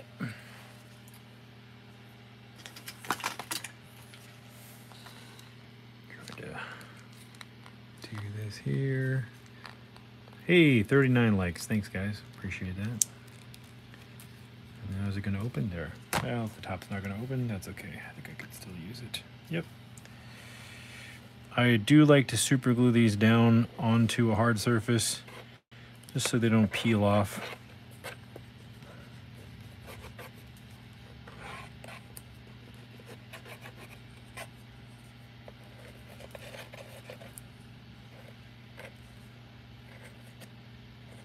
I know I'm being kind of haphazard about this, but this is actually the last bottle of super glue I have left. I gotta go buy some more.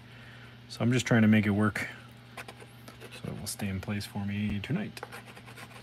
Yep, that's fine. All it needs to do is reflect the light. Doesn't need to look pretty, which that will do. Where is my accelerator? I don't know why I always need to say accelerator like accelerator. I just like to. Accelerator. Okay. There's that.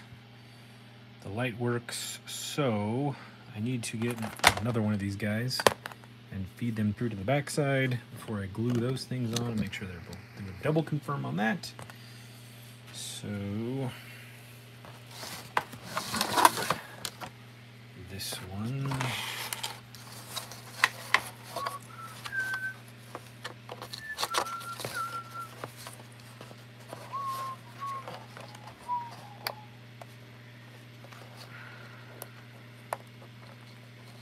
sliding that onto there and clamping that. Let me clamp down, please.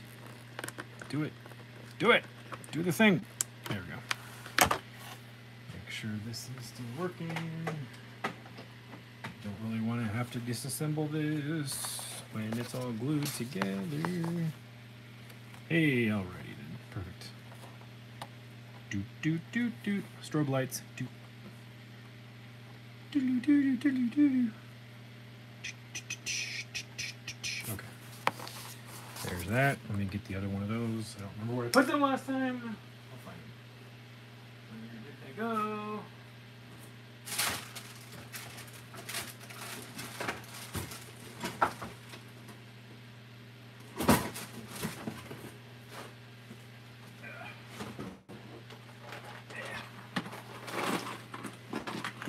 I think they're in this big box.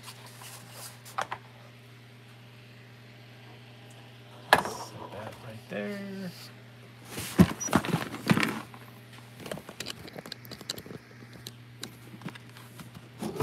Mm, Not there. In here. Yes.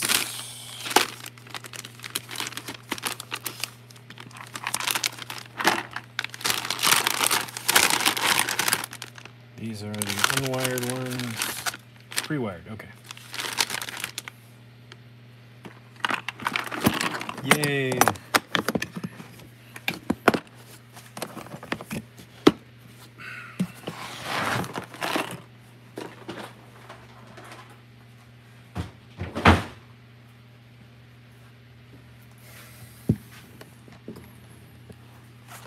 See, this is almost dry over here, so we're getting there.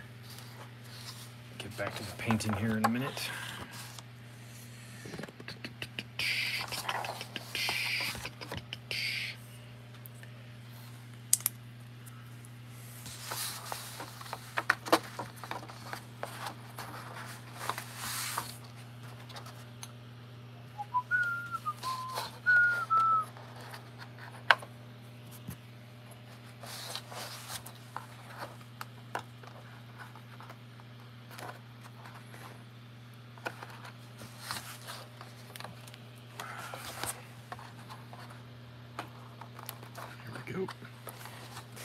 This one still works. I I check my lights like every single time I do a little fiddly move. I check every time just because I'm I've gotten to the point where I've gotten to the end and I thought I checked and I didn't and I had to rip apart something. So don't let yourself do that. don't do that to yourself. Okay, so both of these are working. Let me add the aluminum tape. I will Y connect those together. I'll daisy I'll daisy chain them together on the backside with another connecting wire. I have a bunch of those. They're splitters. I can connect them all so that those two DC plugs that are floating on the backside now, I'll connect those with a little splitter, and uh, that is how I'll get the circuit. I'm actually probably going to add some lights up here too, and I'll add those and just create uh, like two little connections that lead to one, so I can power everything on a parallel circuit, which is just really easy. It's just a matter of plugging everything in together into one line, um, and it's just it's going to be like four LED strips. So I was thinking of putting lights up here with a green tint, and lights down here. These have a whitish blue tint. So we uh, draw in the same theme, and then I'm going to put white lights inside of those green tubes over there. I still haven't decided if I want to wire those through the bottom or wire them separately with their own battery pack and switch. I don't know. I'll probably figure that out at the end. Um, but let me use the restroom really quick. You guys can watch some paint dry. I'll be right back.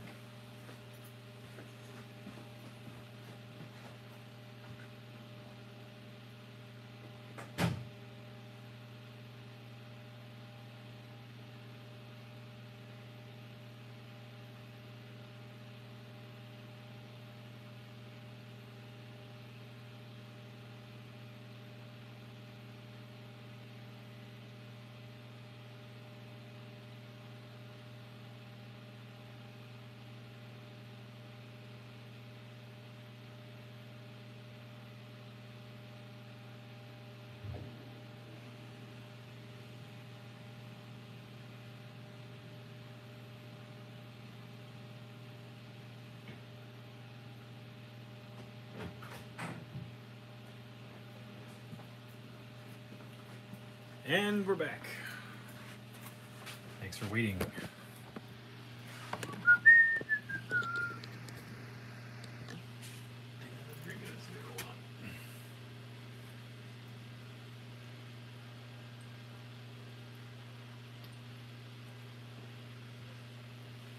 Okay.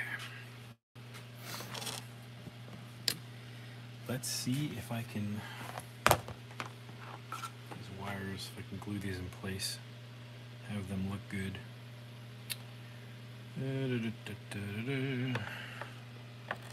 These, oh no, that's for the other side.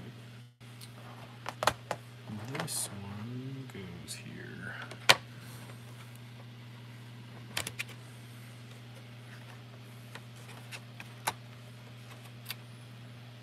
Okay, so this, I'm gonna have to cut this here.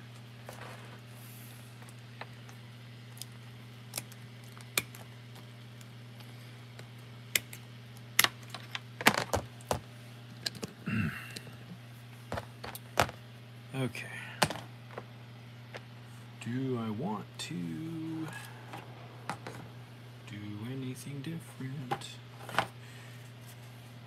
Just these here and see if I want to cut slots for these, or holes for those, excuse me. Or if I can just glue them in place where they are.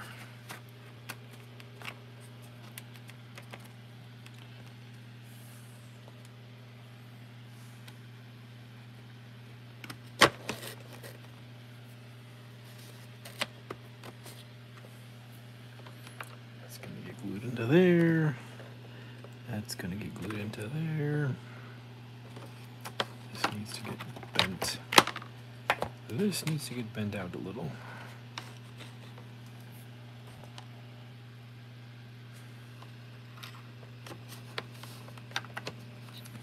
Just final fitting is always a little fiddly. Making sure everything is gonna fit the way you imagine. I'll probably stick something on on this little piece right here at the bottom, like glue a little thing there. But I kind of like the way this looks. I don't like that I can see writing on this, so maybe I'll come back just with some paint and just kind of brush a highlight over this. Because I actually really like the way that red looks now that I was thinking I wanted to repaint it a totally different color, but I actually kind of like the red. Now that I've done all that blue and purple over there, I think this red will be a pop with the paint and it will feel right. And then if I want to shove some more stuff in there, I can hot glue some tubes up in there like I was originally thinking if I feel like it needs more when I get to that point. I'll also probably add some very, very, very, very thin black washes over this after I erect it up into the space. So I think I'm pretty happy with that the way it is. So I'm to add the foil tape here and then um, go ahead and glue this stuff in place. I'm pretty happy with that. Just gonna cut some stuff here really quick. This is just aluminum foil ducting tape. You can get this at Home Depot. Uh, it's usually around like the roofing and you can get it in the HVAC section. I've seen it in the roofing section. uh, because people use it to, as tape to seal uh, stuff that leads up and out of the roof. Um, it's just aluminum tin tape. I don't know if it's actually aluminum. It might be just be like tin. So tin tape, tin foil tape, aluminum foil tape. And take my knife. Just trim off this excess here. Same thing over here. Boop. And we need some more tape.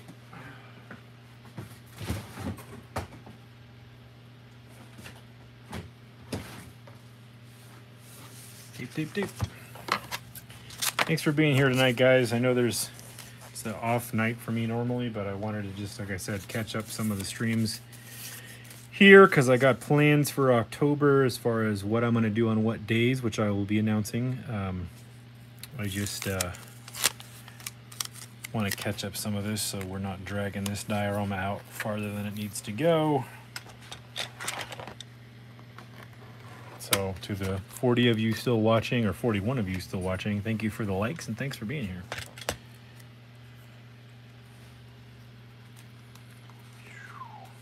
Come on, come on, come on, come on, come on, come on. There we go.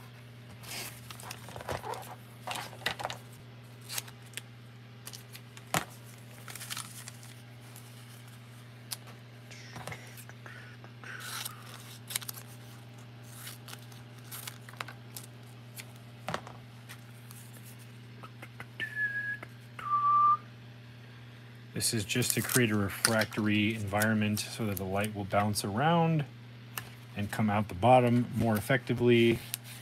Um, we're just creating a reflector basically in here, just like uh, just like you would in a headlamp for a vehicle. You get the all the silvery reflectiveness with a bulb facing towards it. It reflects everything back.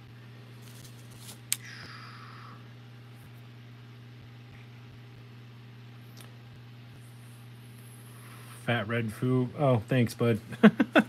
yeah, I uh, when I film my miniature wiring video, I it's funny because it's like when you sometimes when you get into the camera, and I've done it live too. Words and things elude you, and then you start talking, and you just keep going, and you don't realize, oh, I kind of said that wrong, even though I demonstrated it correctly. And I did a little bit of that in that video, and even when I edited it, I didn't really catch it. And then later, when I rewatched the video, like months after I posted, I was like, oh, I didn't say that right. And then later down the road, I had a bunch of people go, "You're you have no idea what you're talking about." I'm like, "Well, I actually do. I just didn't say it perfectly correct." But it's you know it's not going to hurt anybody as long as they do what I showed. Uh, and well, I didn't say anything wrong. It's not going to cause any problems. That's all I'm getting at. I just uh, yeah I uh, at first I was taken aback, but that's actually it's funny because those comments prove the reason why I made that video. It's actually my, it's my most viewed produced video on the channel. That's because people needed it. People needed a video just explaining how to get how to wire up some LEDs, put a switch in. They needed it, and I knew that. That's why I made the video. And a lot of there's so many so many engineering types and stuff. They just don't realize that sometimes people just want to put a light in something and they don't need to know like every single electrical theory out there to understand how to do that. You really don't. Most people don't need that uh, for hobbies. They just want to put a switch and a light. And that's all that video was meant to do, and it does it. So, you know. Thanks for the encouragement, though. Appreciate it. And that's how we did the other side. We're done. Okay.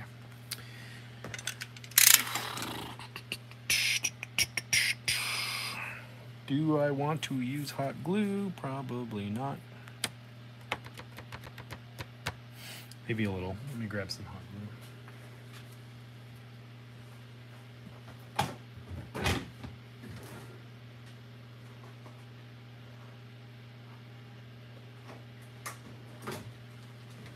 Hot glue is my enemy.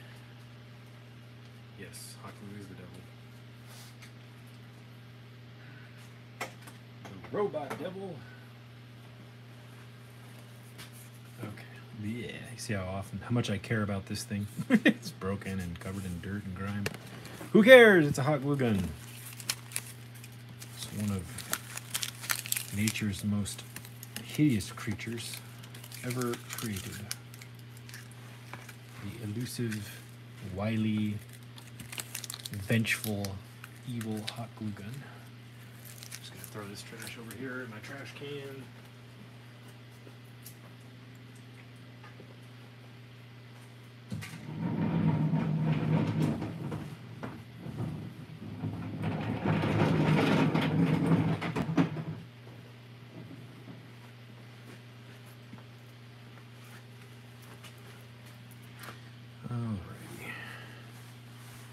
It can help you go fast, but you know, it can help you go fast and also not last. Sounds like a slogan, but depends on what you're going, right? As I've said, depends on what you're going. So I can fit the other side really quick.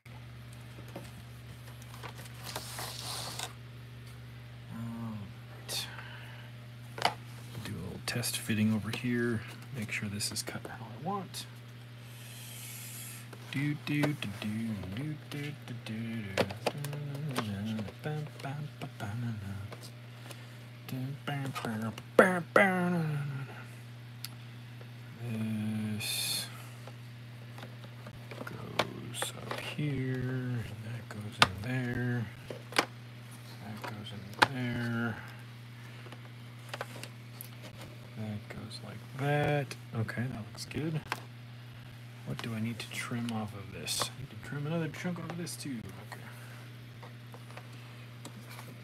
There's a bead shop here in northern Nevada that's uh, closing. That's been open for 21 years, but it's okay. They're closing on purpose. They're actually retiring. But I went to the bead shop. I found I was looking for a specific thing uh, for a thing I'm working on, which I'm not going to reveal because it's going to be a produced video down the road. But I needed a specific thing and uh, nobody, I could not find it anywhere. I couldn't even find it online. And I went to the bead shop, found out they were closing. Everything was 50% off. Um, so I spent like 40 bucks and got a billion things that I've been wanting. I bought a bunch of stuff, like all this stuff too, which is not what I was talking about, but I got a bunch of supplies. I got like billion, ba- these bags of gears were 10 cents, I think. So I bought like 50 of them. So that was cool. that's not every day where you randomly find a bead shop that's clothing. Bead shops are amazing places, by the way, to find accessories and things for miniatures that you never thought you might need. Um, show up in a bead shop, there's all kinds of tiny things that can be useful. so, this is the tip of the day. Go visit your local bead store. Never know when they might be closing. Okay, I'm gonna use my good old styro goo, my Bob Smith Industries EPS glue to do the main gluing, and I'm gonna use hot glue to hold it in place. We're gonna go like this, and we're gonna go like this, and I already got a little string of glue where I don't want it. That's okay. And then we're gonna go put glue on the top side of this.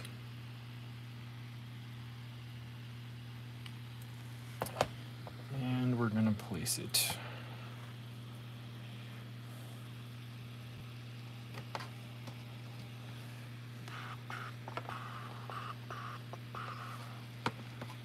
Like that, like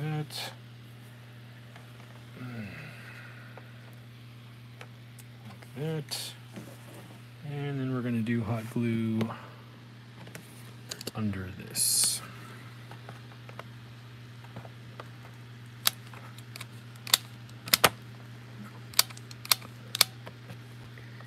Glob it on.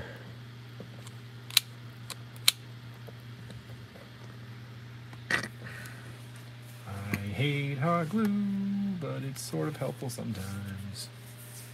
Okay. That can stay right there. Wipe some of this off. All right. Now we can glue this guy on.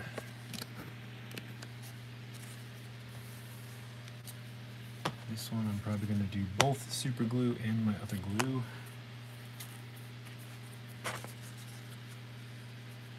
Run super glue along the inside edge so it falls down when I flip it over. And then run super glue on the straight edge or on the immediate edge so that it bonds immediately. Actually, I'll probably do it. Oh gosh. Of course. Stupid super glue. Why must you do this to me? We've entered the mildly boring but progressive stage of the build, where I just have to do a bunch of piddly things that are not as grandiose as purple paint. Eh, eh, there we go. All I had to do was force it. Who knew? Okay. Make sure I don't get that. Make sure I don't get that. Okay flip it over and plop it into place. Go where I say, please. Go into the place. There we go. Okay. Yay! Okay, cool. And then I'll probably put another pipe coming out of there or something. Grab another stick of hot glue. Duper than I hate it.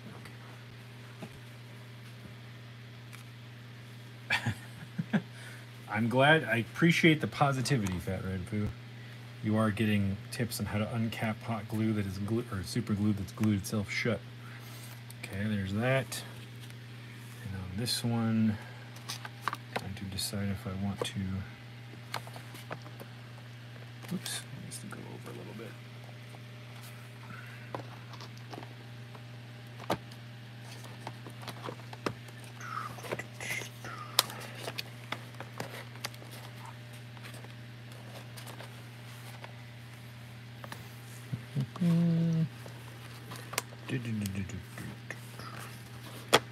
There we go. Knew that wasn't straight. Okay. So this is gonna go right there. Oh, put a little too much glue on that. That's okay. I can clean that off. This glue is cleanable offable.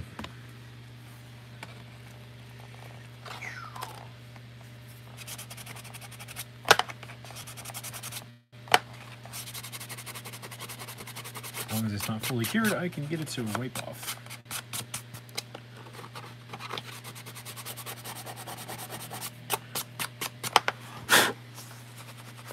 Okay, that'll work for now.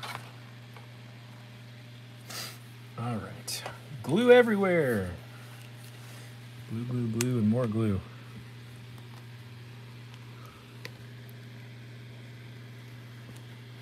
Glue. Glue.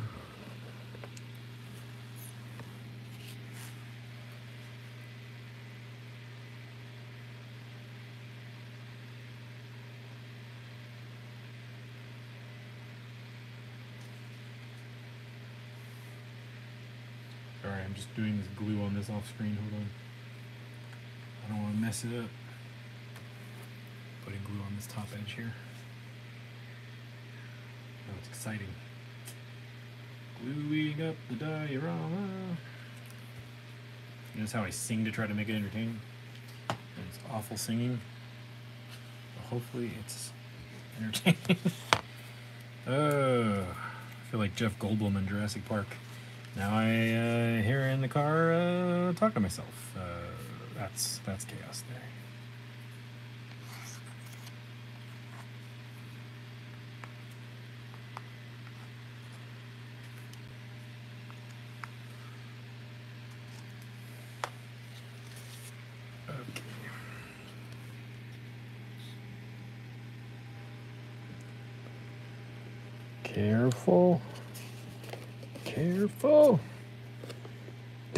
It up. Okay. We have landing. I just gotta hold this in place so the super glue can kind of cure a little bit before I go nuts with everything else.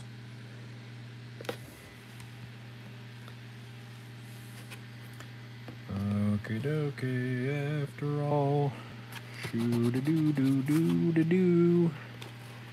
Okay, I think that will stay put. Let's do the other side.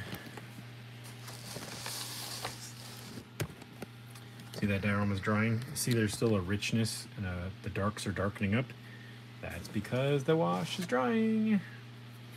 And it's doing what I want. Back to that in a moment. Yeah, I do that a lot. Peel off my finger and the glue peels off paint and I'm like, ah! Accidental weathering. Happy little accidental weathering.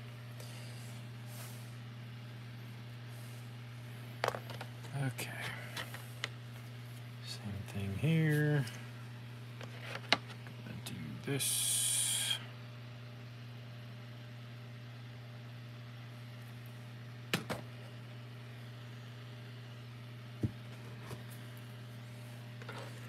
Put this in there.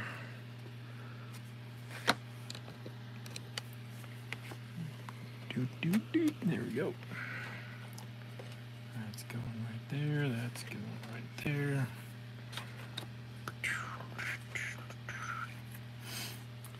Dun, dun, dun, dun, dun, dun, dun. There. Put the glue there.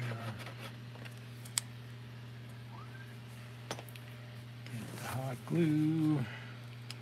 A bunch of hot glue, make a mess, burn your fingers, it'll be great.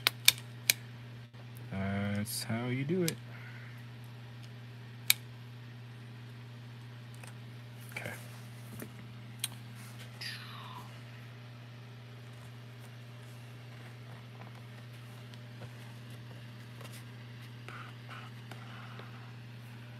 Okay. Okay, okay. I'm doing it again. All right. Get some glue on this thing, just like the other side.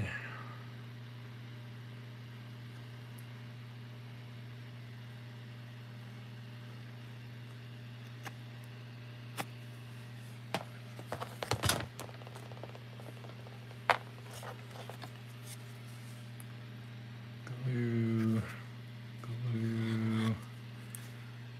Yep.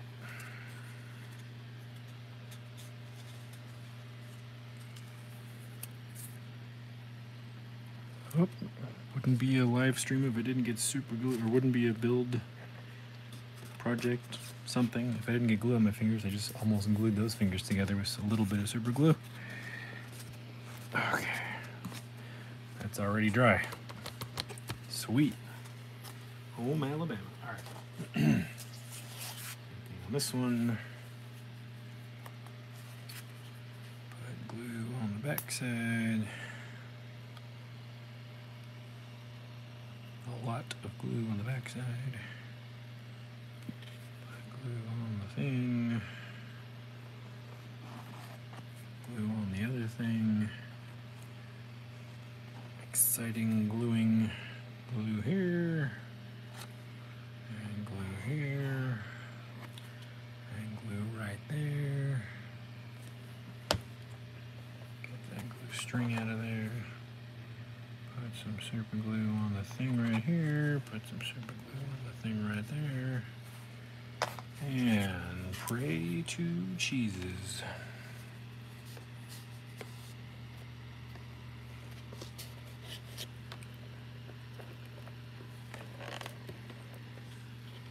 Hopefully this goes where I want it to go.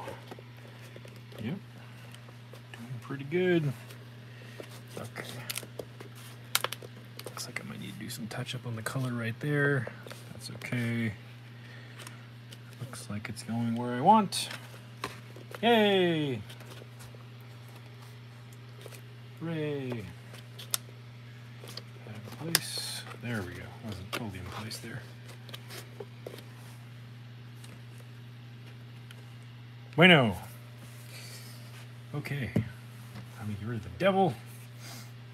Unplug this. Get this out of my way. All right. Look at that. There's a thing.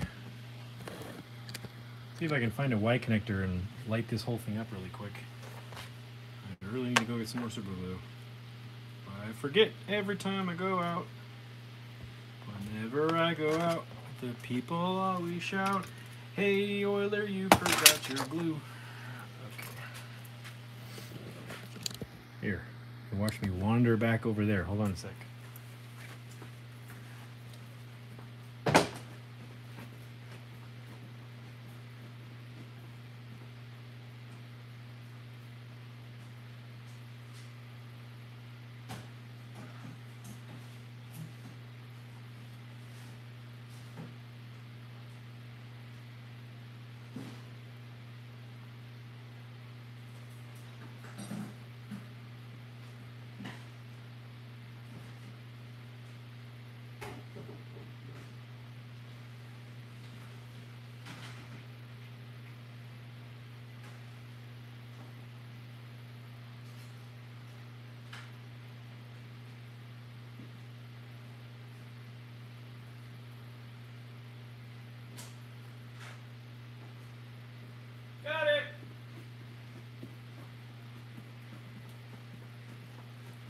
Go find it.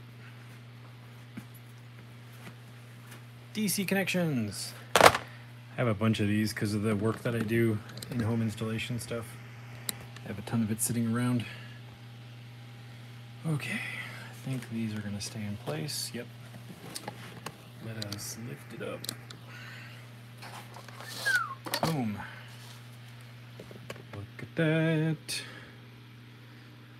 Look at that. Looks like a little space castle. Space Castle Grayskull or something. Enter a world. Okay. Stop goofing around, Jordan.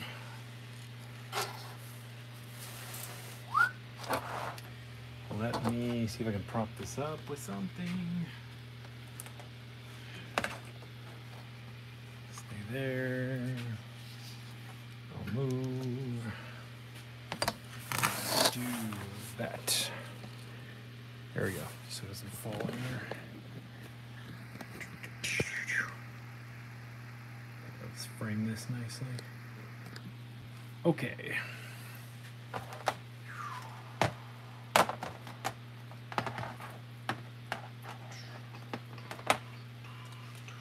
Okay, this one. And this one. Eh, There we go. And then I need this plug. Make sure this is gonna work. No. The wrong voltage. No. Okay. Hold on. Oh, it's probably my cordage is too. Um, it's trying to send out too much. Hold on. Or trying to distribute too much into dense of a cord. Whatever that's called. Can't think of what it's called. Testing. Hold on a sec. Testing, testing. Am I getting lighting over here? Am I really? Really? Really? After all that, you're not going to work. Hold on.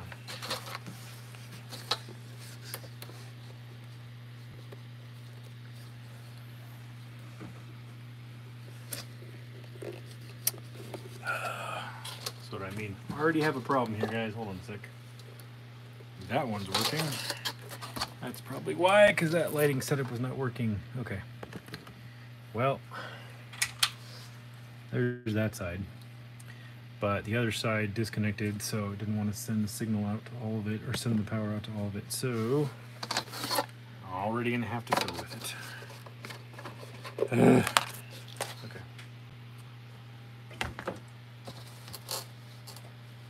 Stupid things that don't do what I want. Okay. Let's try this again.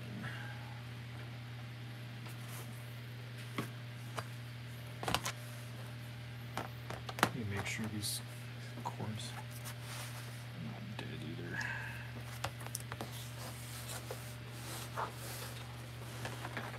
Sorry, I'm doing. I'm just plugging some things in to make sure the cords that I'm using are not flawed. Nope, that one's good. Okay, that's good. Uh, I might have, because if this was flawed, I might have fried the other lights. I hope I didn't. Suck.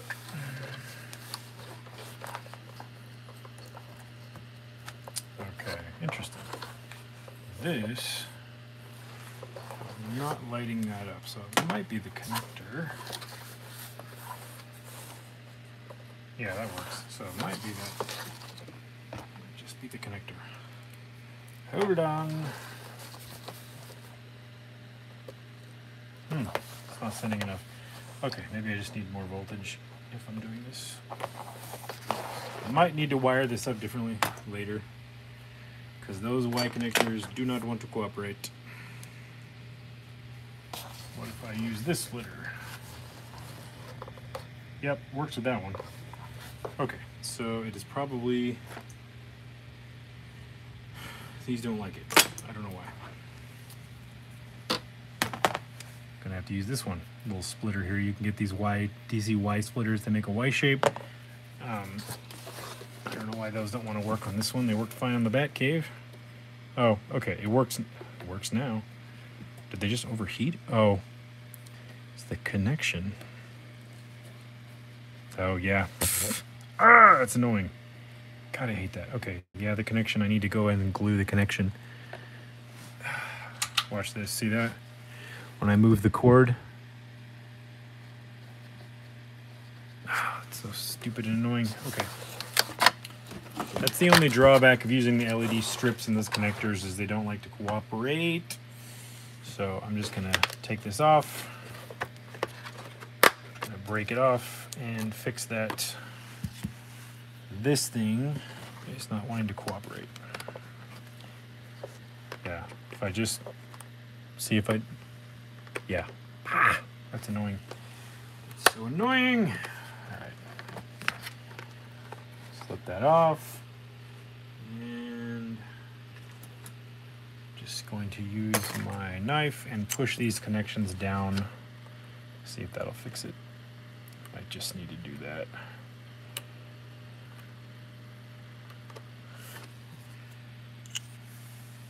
I am kind of pulling on the cord because of the way I set it up, so I'm routing the cord directly out of there, which is probably not helping it, but I might just super glue it in place and then it will do what I want. Oh, I'm not going to zap myself with that low of a voltage in amps. It's fine. Even if I did, it wouldn't hurt. Don't do that though.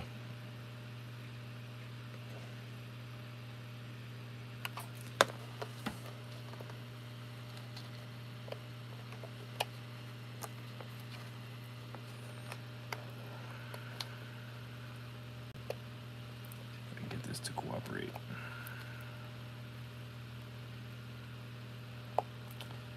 Nope.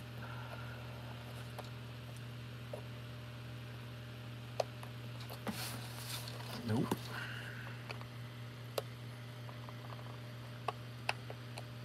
Real time fixing, folks. This is the reality of what you will probably experience with your own stuff. There we go. Let's see if this will work. Yep, okay. Stay there.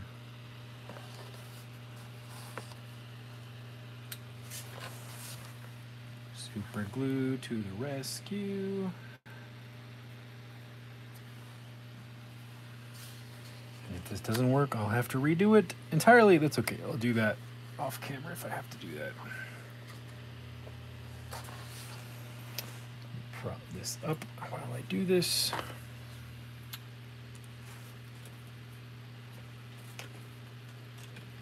My flat nose pliers really quick.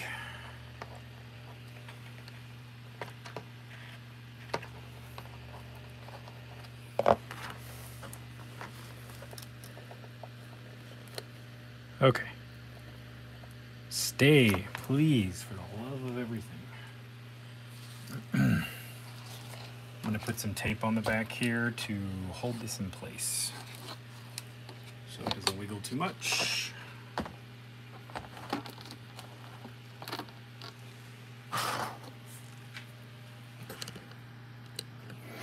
Uh, what do I want to use?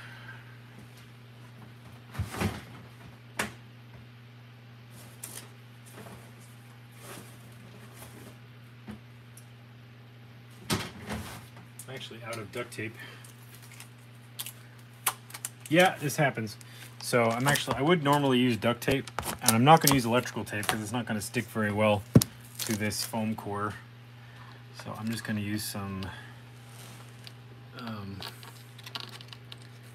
packaging tape to hold this in place to encourage it not to push on that connection and mess with it so it doesn't the other side doesn't wobble around like it was doing. It was just too loose. Sure we're still getting light. Yes we are. Again I check it every time I change something and even then it didn't stick so I'm gonna do it to this side too then. Gonna check this side. Yep and then I'm gonna tape this side as well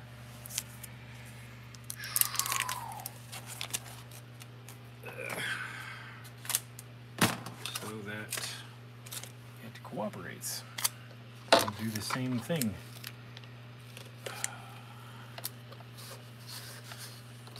This is the ugly side of the diorama. It's gonna get covered up eventually, so I'm not super concerned. Stay. Okay. And then I'm gonna recheck this again after I taped it. Yep, we're good. Okay. Now maybe the Y connector will work. Or maybe not. Maybe it's just there might be too much um, too much trying to spread across too much wire. So if there's not enough current coming from the actual power source and the wire you're using is too much wire or it's too much stranded wire or it's too dense or it's bigger gauge, that current is trying to flow across those electrons from that current are trying to flow across all that wire. And if the wire gauge is too big, it's going to have a harder time getting the electrical voltage and the wattage slash current to your end goal. So then we need to go into a smaller gauge of wire that can handle the amps. In this case, the amps are less than an amp, so it doesn't really matter. But if you're dealing with higher, more amps, things that draw like 2 amps, 5 amps, 10 amps, like big appliances, then it's a whole different thing. So ignore what I'm saying if you're dealing with something larger. Go consult a manual or an electrician for that. But for these small things, if you use too big of a gauge of wire, and I'm wondering if this wire in these Y connectors is just, it just doesn't want to cooperate. Uh, it looks like it's not too big, but it might, just because of the way it is, maybe it's, maybe it's not copper, maybe it's uh, just steel wire and it doesn't like that. So, I'm gonna see if they'll work now. So maybe the there's like a voltage drop when I put all the current into this. Um, so we're gonna just plug this in and see if it'll work now.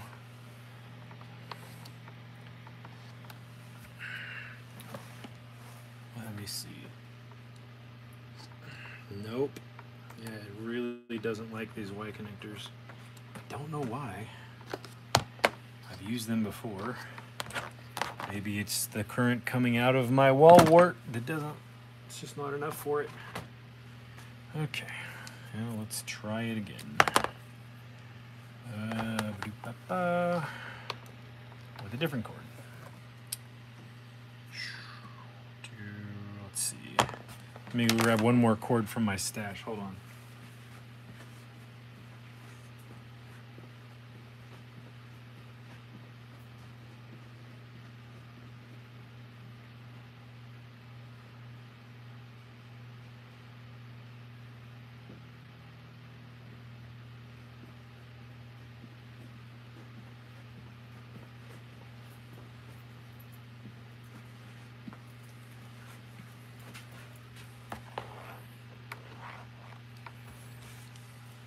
Okay, so again, that works by itself.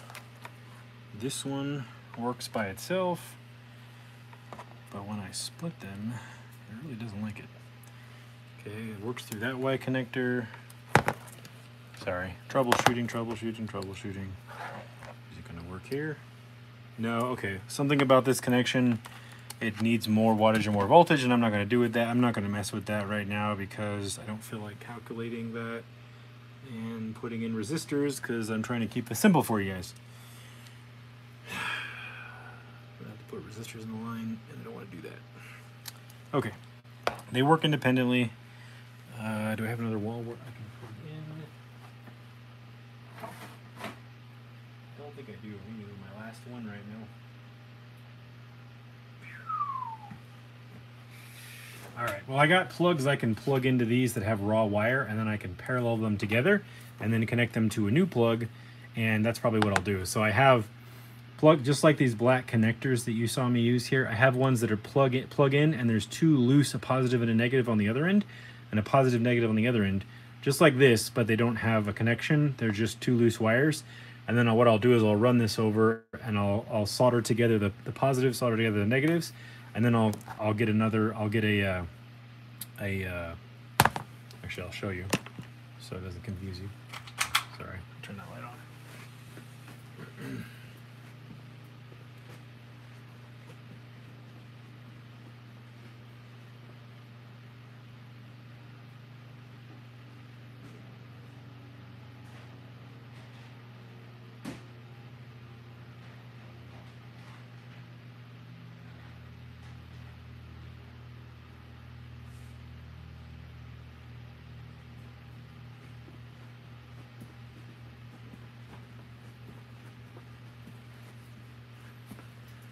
Okay, so that box that I opened up that had these electrical connections in it, I also have um, a lot of things in that box that I can switch out. So, like I said, I have one of these, but doesn't have a connection on the end. It's got two raw wires. I can't simply cut this and do that because the way this wire is designed, the connection goes around.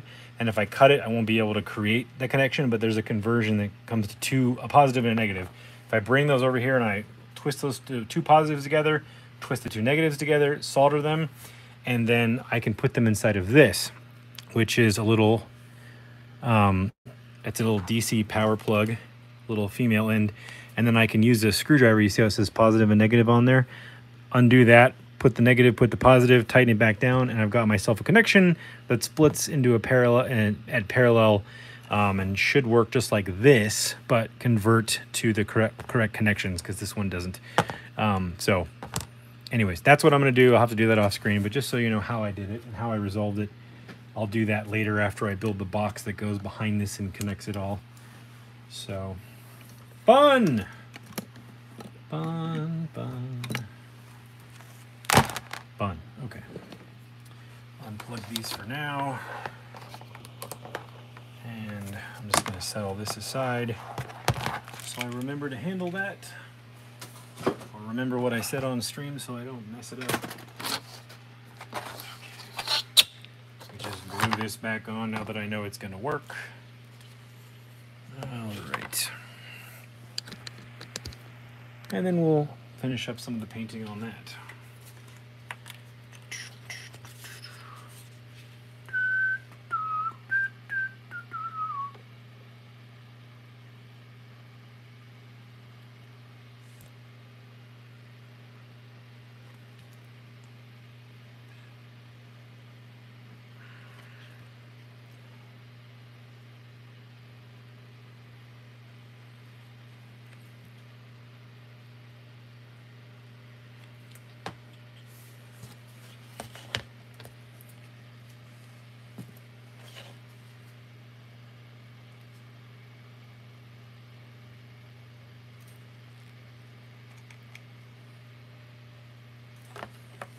And I'm out of super glue.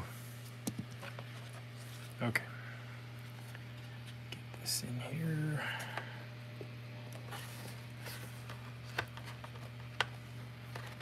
Where this belongs. And hold everything in place again. Oh, that needs to go there. Okay. There we go. Okay, one more time. uh, I don't know why these aren't working. I guess they just don't like, they just need more current, I guess. And that does not provide enough current.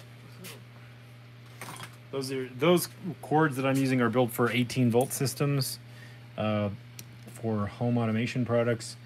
Um, but they work usually just fine on the 12 volt stuff. When I go down to the 3 volts, those are too big of a cord uh, because there's not enough wattage and current and volts and everything coming through it to get across the density of the metal. The electrons just kind of flow and dissipate, and the signal is too weak. So, but they usually work on the 12 volt stuff just fine. But it must be that wall wart that I'm using. It's maybe of a lower quality, even though it says it's sending out 12 volts at one amp or, or allows up to a one amp drop. It must not be providing a very consistent flow out from the power source or enough because all the other wall warts I've used work just fine. I don't know why that one's not. So it must just be the quality of it. So like when you go to the gas station, you get those, excuse me, you get these little chargers for your iPhone or for your Android, and you go to the gas station and these seem to not send out enough power through your cord, or the cord doesn't send out enough power, and it takes forever to charge your phone. It's the same concept. So even though these say five volts at like up to one amp on the draw right there, it says five volts up to one amp. Um, because the parts are made of cheaper quality parts, the actual flow of current coming out is less. Same like with these, it's not copper, you know, it's and it's not solid core or it's not sheathed very well, so there's a dissipation of the electrons, and it doesn't work um, as well. And so it takes like five, six hours to charge your phone, whereas the Apple branded one or the Android branded cords take an hour or less because they're of higher quality materials and everything flows better even though it's the same rate. It just actually actually flows across. The electrons move better. Um, so i've learned this is what i mean. I actually know all this stuff. I just wasn't explaining it very well when i recorded that video. Um, i had to learn all this stuff because i had to be able to test circuit boards um, in home automation to figure out if something got blown or there's a short and i needed to replace a motor um, so I know, again, I know enough to do all this small scale stuff. Um, but that's why I feel like I need to record a part two to my miniature wiring video. I think I might call it how to make miniature wiring better and it kind of re-explain some of the things in that video that I flubbed up on a little bit and get more into this other stuff. So yeah, I you know it's 12 volts. I could hook it up to my car battery. I don't know what the output is, but yeah, I could grab actually have a rechargeable uh, one of those power banks for recharging your car battery. I could hook it up to that. It probably would be okay. These the LEDs I used are actually from a car LED kit which plug right into your 12 volt system in your car. So I could do that. They shouldn't uh, it shouldn't blow them out. It shouldn't be too many amps or anything. Um, so maybe I'll do that off screen. just to test it. But anyways, there is our wall of doom. Let me see what it looks like in the diode.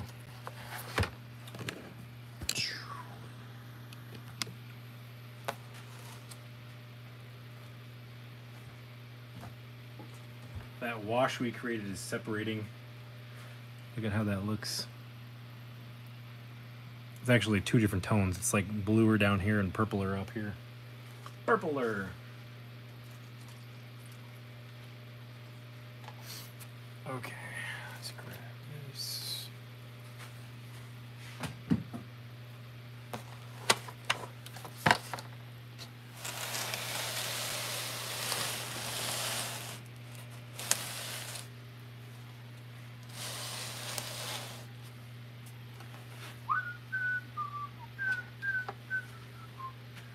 Do do do do do do do.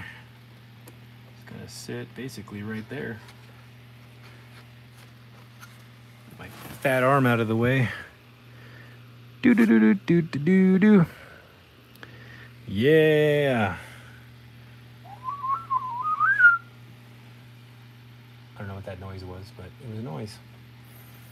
All right, then when I enclose that and put like some decoration in the back and put lighting in there and make sure everything's actually working correctly, um, it'll be great.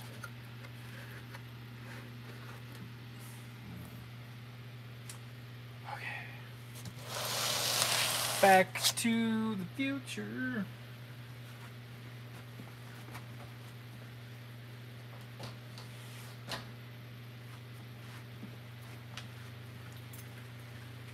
All right, time for some highlight dry brushing. You can see the little blue spots we get in here. Looks otherworldly. There's a lot of grain in there, so my 720p resolution that's being broadcast is kind of not showing it in high res, but it looks cool, I promise. Okay, where is La Palette? Where did I put it? Oh, here it is. There it is. And the paints.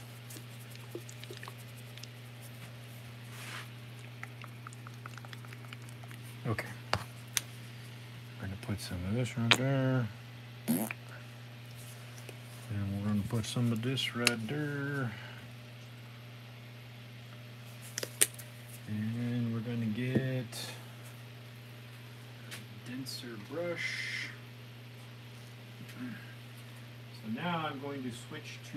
Denser brush.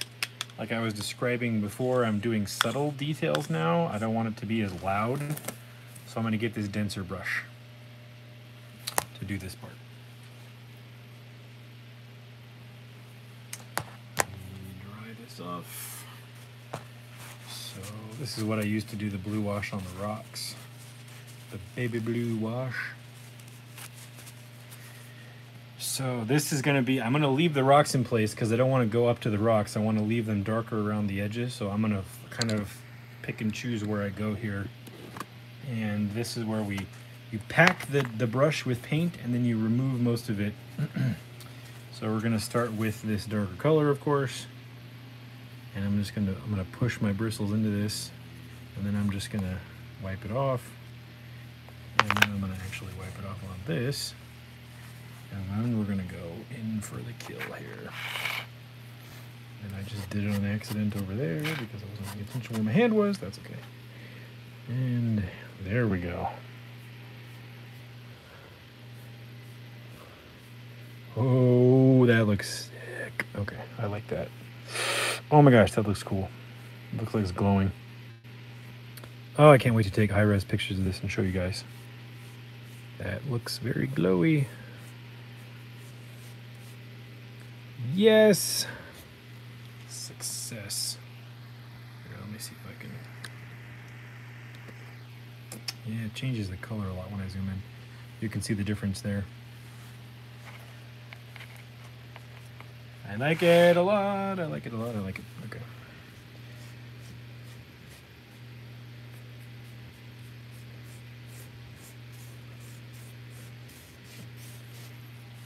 If I use the chip brush because the bristles are are very random on the chip brush, I would I might be getting big streaks that I don't really want.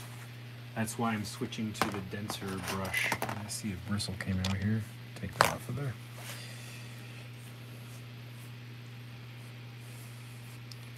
And I, I'm not going to paint down here just to keep the effect of the shadow on the vertical face here.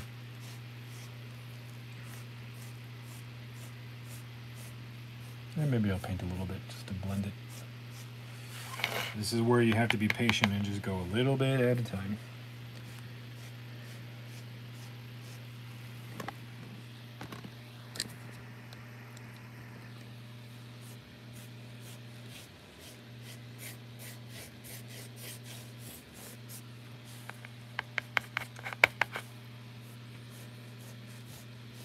All right, can turn this fan off now, huh? You don't need the fan.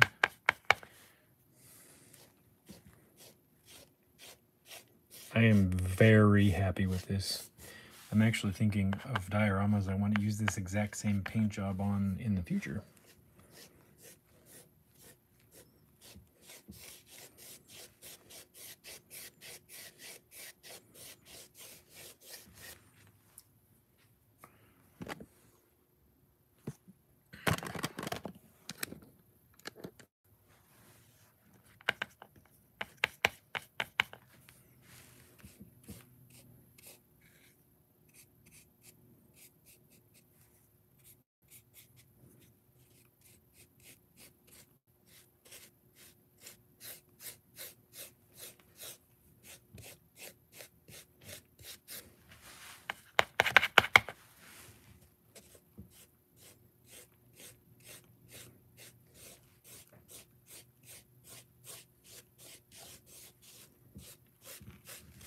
Yeah, it's looking almost, there's like a yellow orange tone it's adding in the camera that's not there. Um, so yeah, I'll have to take some high res images and switch out the thumbnail here at the end because it's not, the camera is not doing it justice. This is looking very happy. This is looking very happy.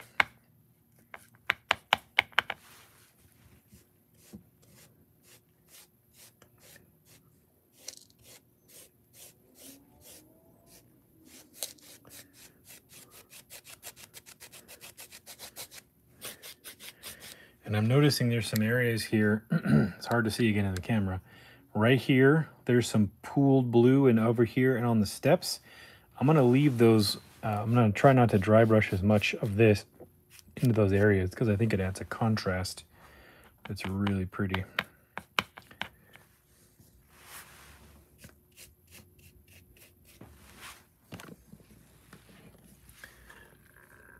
Excuse me.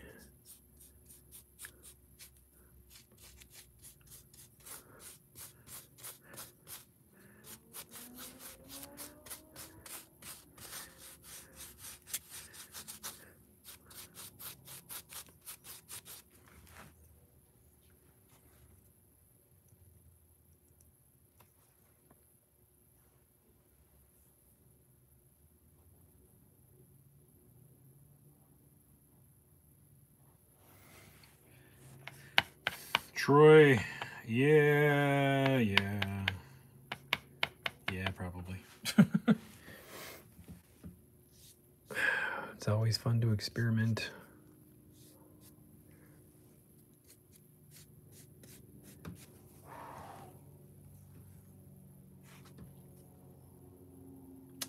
Foo, go take care of your friend. Go be a brother born for when there is distress.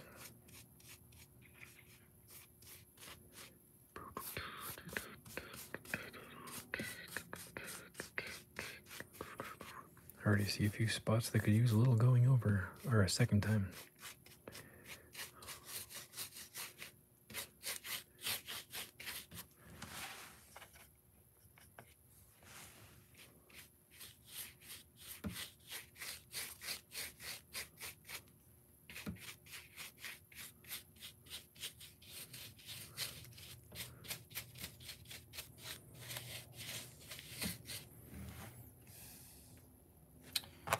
Alrighty. This is getting fine and dandy, like sour candy. It's my Ned Flanders quote.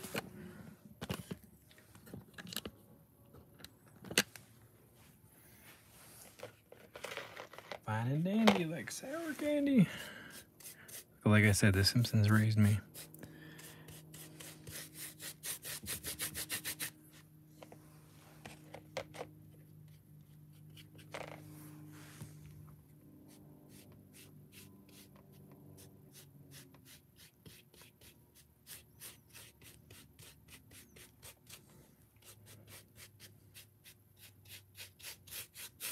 This looks a lot cooler than I thought it was going to. It looks cooler than I thought.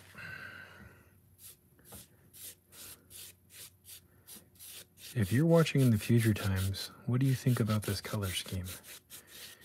You think it looks good or you think it looks stupid? Or something else?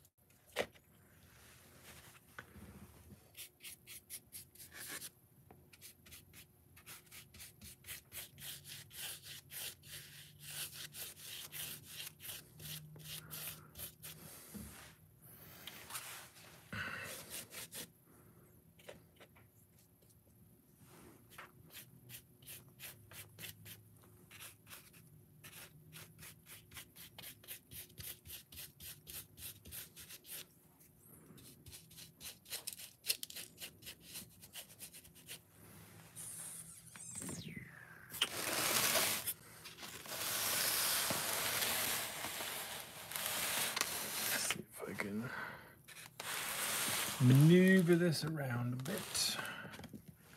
Get a cool angle on this. There we go.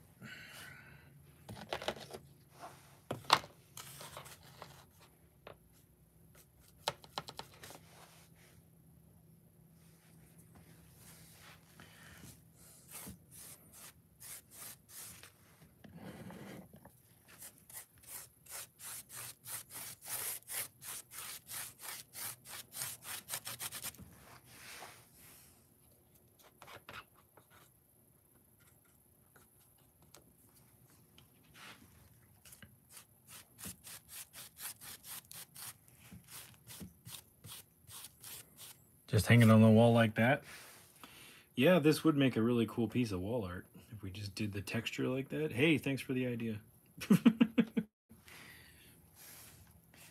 would be a cool, just wall hanging. I might have to do that. You should do it too, though. Is your idea.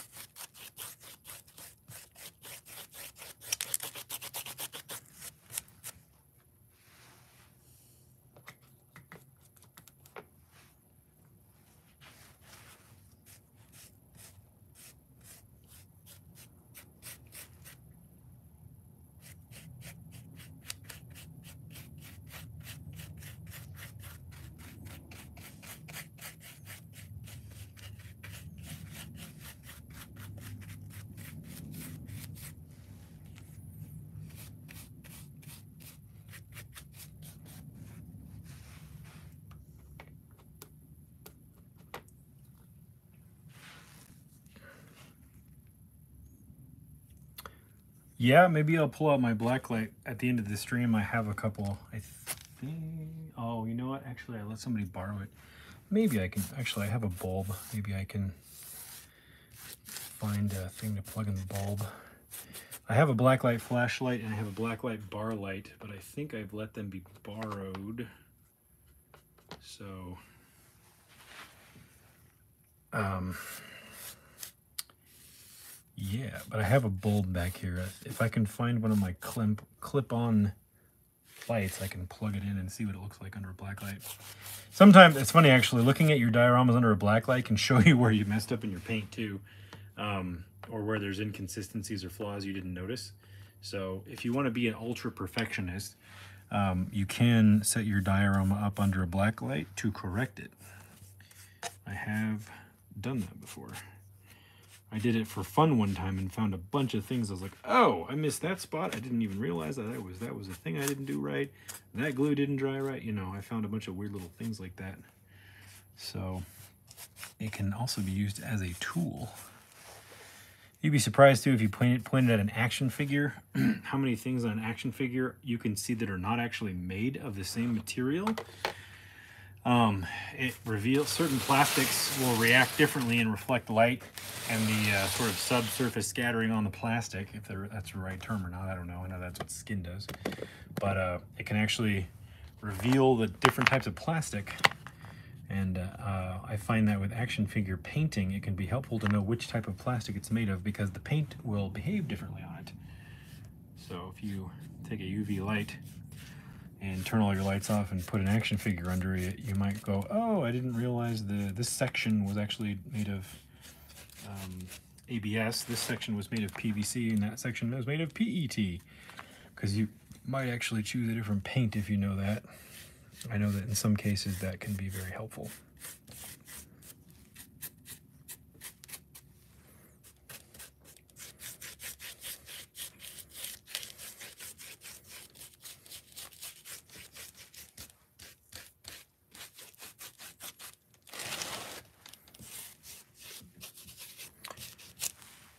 That's looking pretty good. There's any other spots I want to get here. A little bit in here.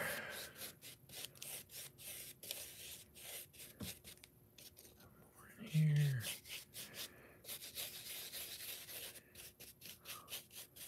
A bit more up there. I think that's pretty good. Do, do, do, do. Yeah, okay. I like that. That's a little thick right there. That's okay. Okay, now I'm going to switch to the other color here and just go over some spots. Um, make sure my brush doesn't have paint that's going to immediately come off of it. A little bit like that's okay. And this brush is falling apart. Pack this with paint. And this will be the final highlight as long as it looks, yep, there we go. Yeah, baby. And I'm not to do the whole thing like I just did. I'm just to do maybe edges and little piles of detail and then blend it outward. So like little spots like this and these edges. Oops. Little streak there I didn't want. That's fine.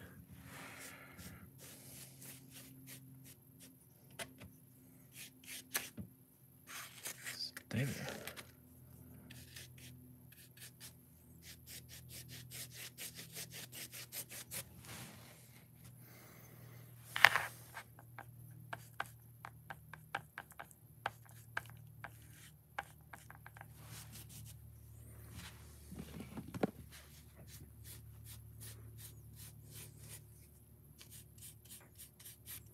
Thanks again, guys, for being here for so long. Thank you guys for the likes.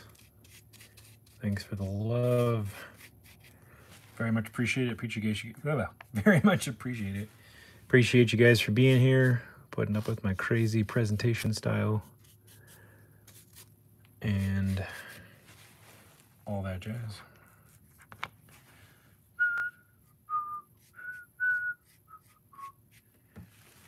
Little bright right there. That's okay.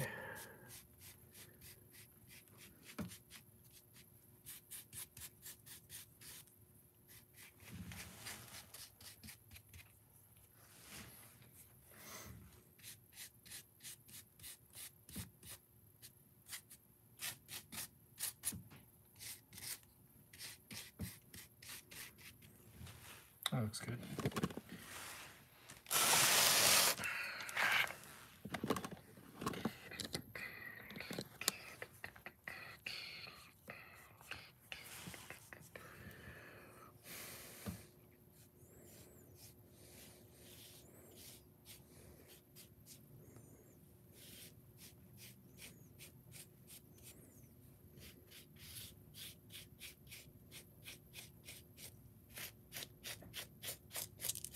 It's amazing what you can do with a brush and some acrylic paint.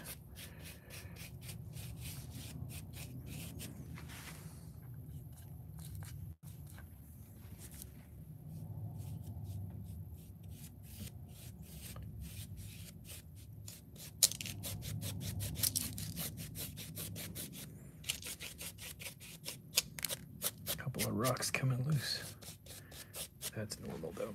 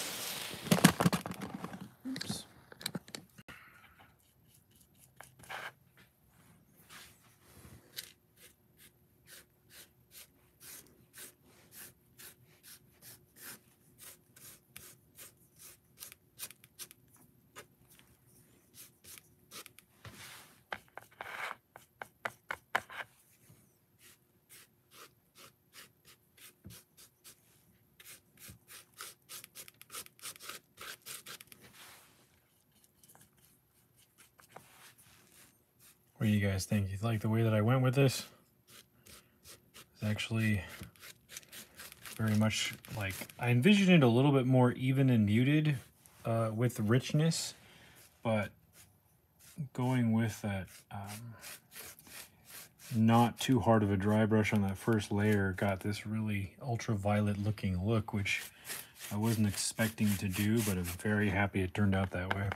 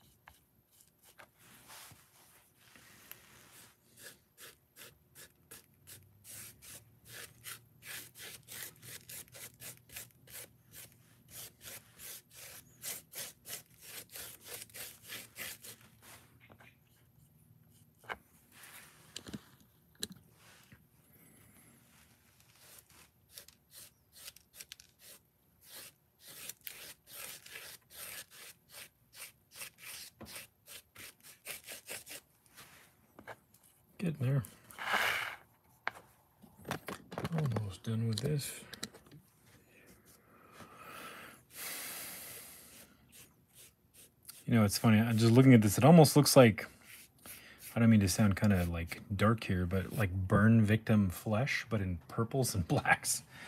Like, you know, if you can imagine somebody whose burns have healed from like severe third degree or second degree burns, and you get the skin tone and then like reds and some blues and such like that under it.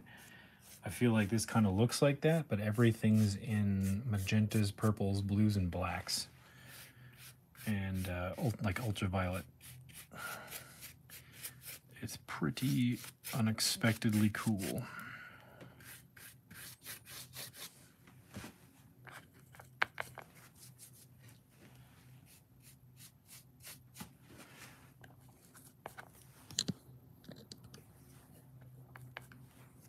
See how this tone, I'm bringing it around, this tone looks a lot like the tone on the uh, poles, or the gas pumps.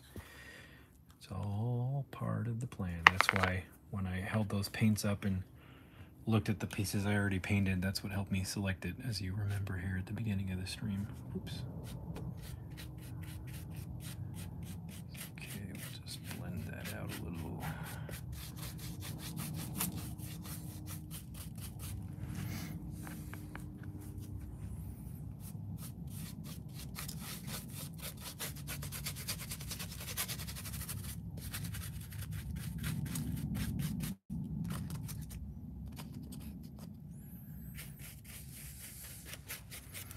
These types of things help it to blend together well. Yeah, Night Wolf, I will definitely try to take some final photos like that. Get everything like, you know, studio full studio setup where I black out everything and then just light it with the lights in the diorama and then maybe some directional lighting. Yeah, I'm looking forward to taking those kind of photos of this because I think it's going to look really, really cool. Really cool. Gotta that back. Oh, that looks, wow, that's really cool. Okay. Let me see if I can show you kind of what this is looking like. Um, let me see if I turn a light off. Maybe not as harsh. You see the tones in there? Let me see if I can mess with this. Hold on. Looking for a flashlight over here. Where did it go? Hello. Had it a minute ago. Oh, it's right here. This is actually a regular flashlight, but it's going to read differently on this. It's almost, see what I mean? It's almost reading like a black light when I put harsh white light on it. That's just a white light. Let me turn off all of the studio lights.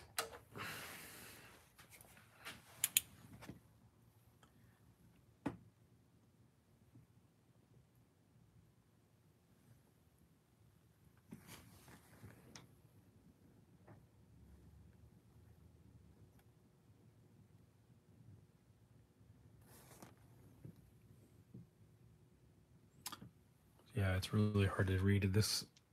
The colors, my camera doesn't like it because of the resolution. Um, but it's, yeah, I gotta take still images of it.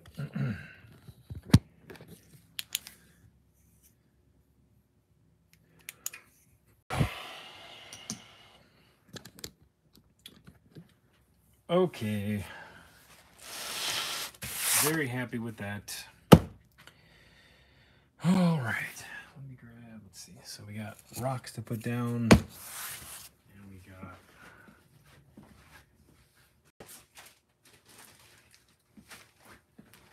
flocking and other flocking. This is gonna be interesting. It's gonna be cool. All right, well, I'll have to do some of that off screen and then we'll do a little bit when I come back to it next time around. Let's put a couple of guys in there. All right.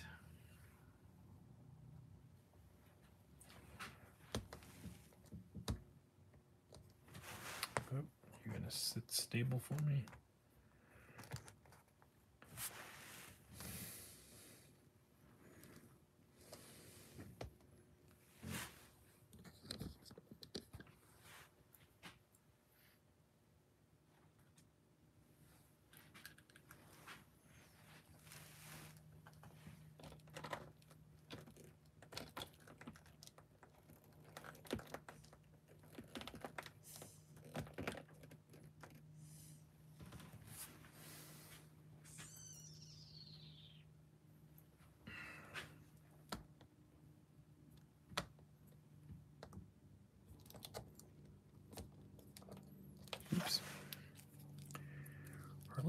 Came out.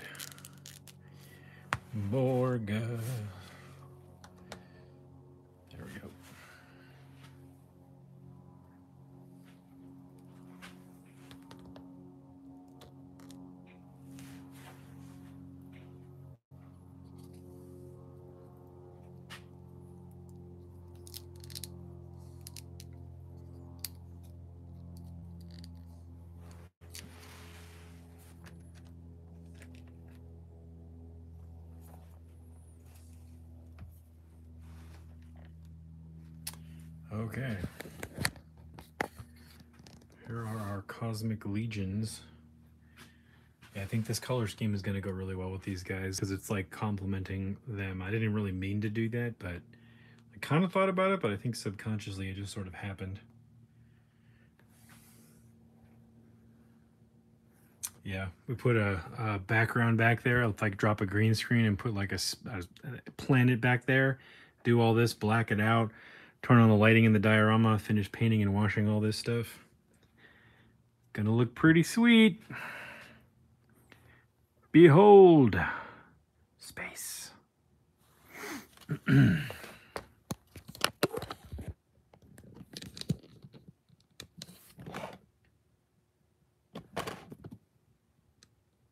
Hello. okay, I think that just about does it for this stream. Um, thank you guys for joining me. If you're watching in the future times, thank you for watching this long.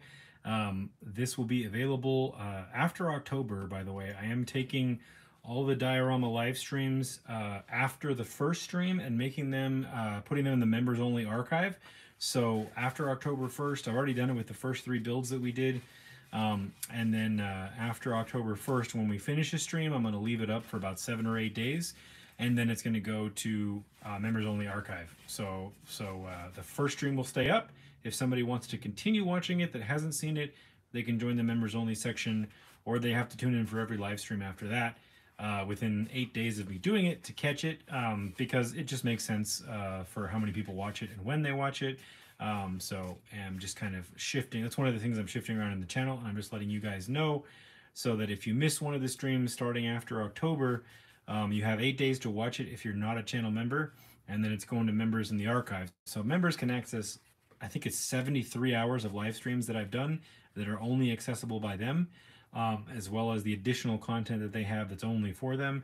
And so uh, that's one of the ways I'm reorganizing the channel. And I'm going to focus on doing more produced videos for um, the public, uh, the non-members. I mean, you're all public, right? But the non-members, uh, I'm going to do actual produced videos. They'll obviously get to see those first as well.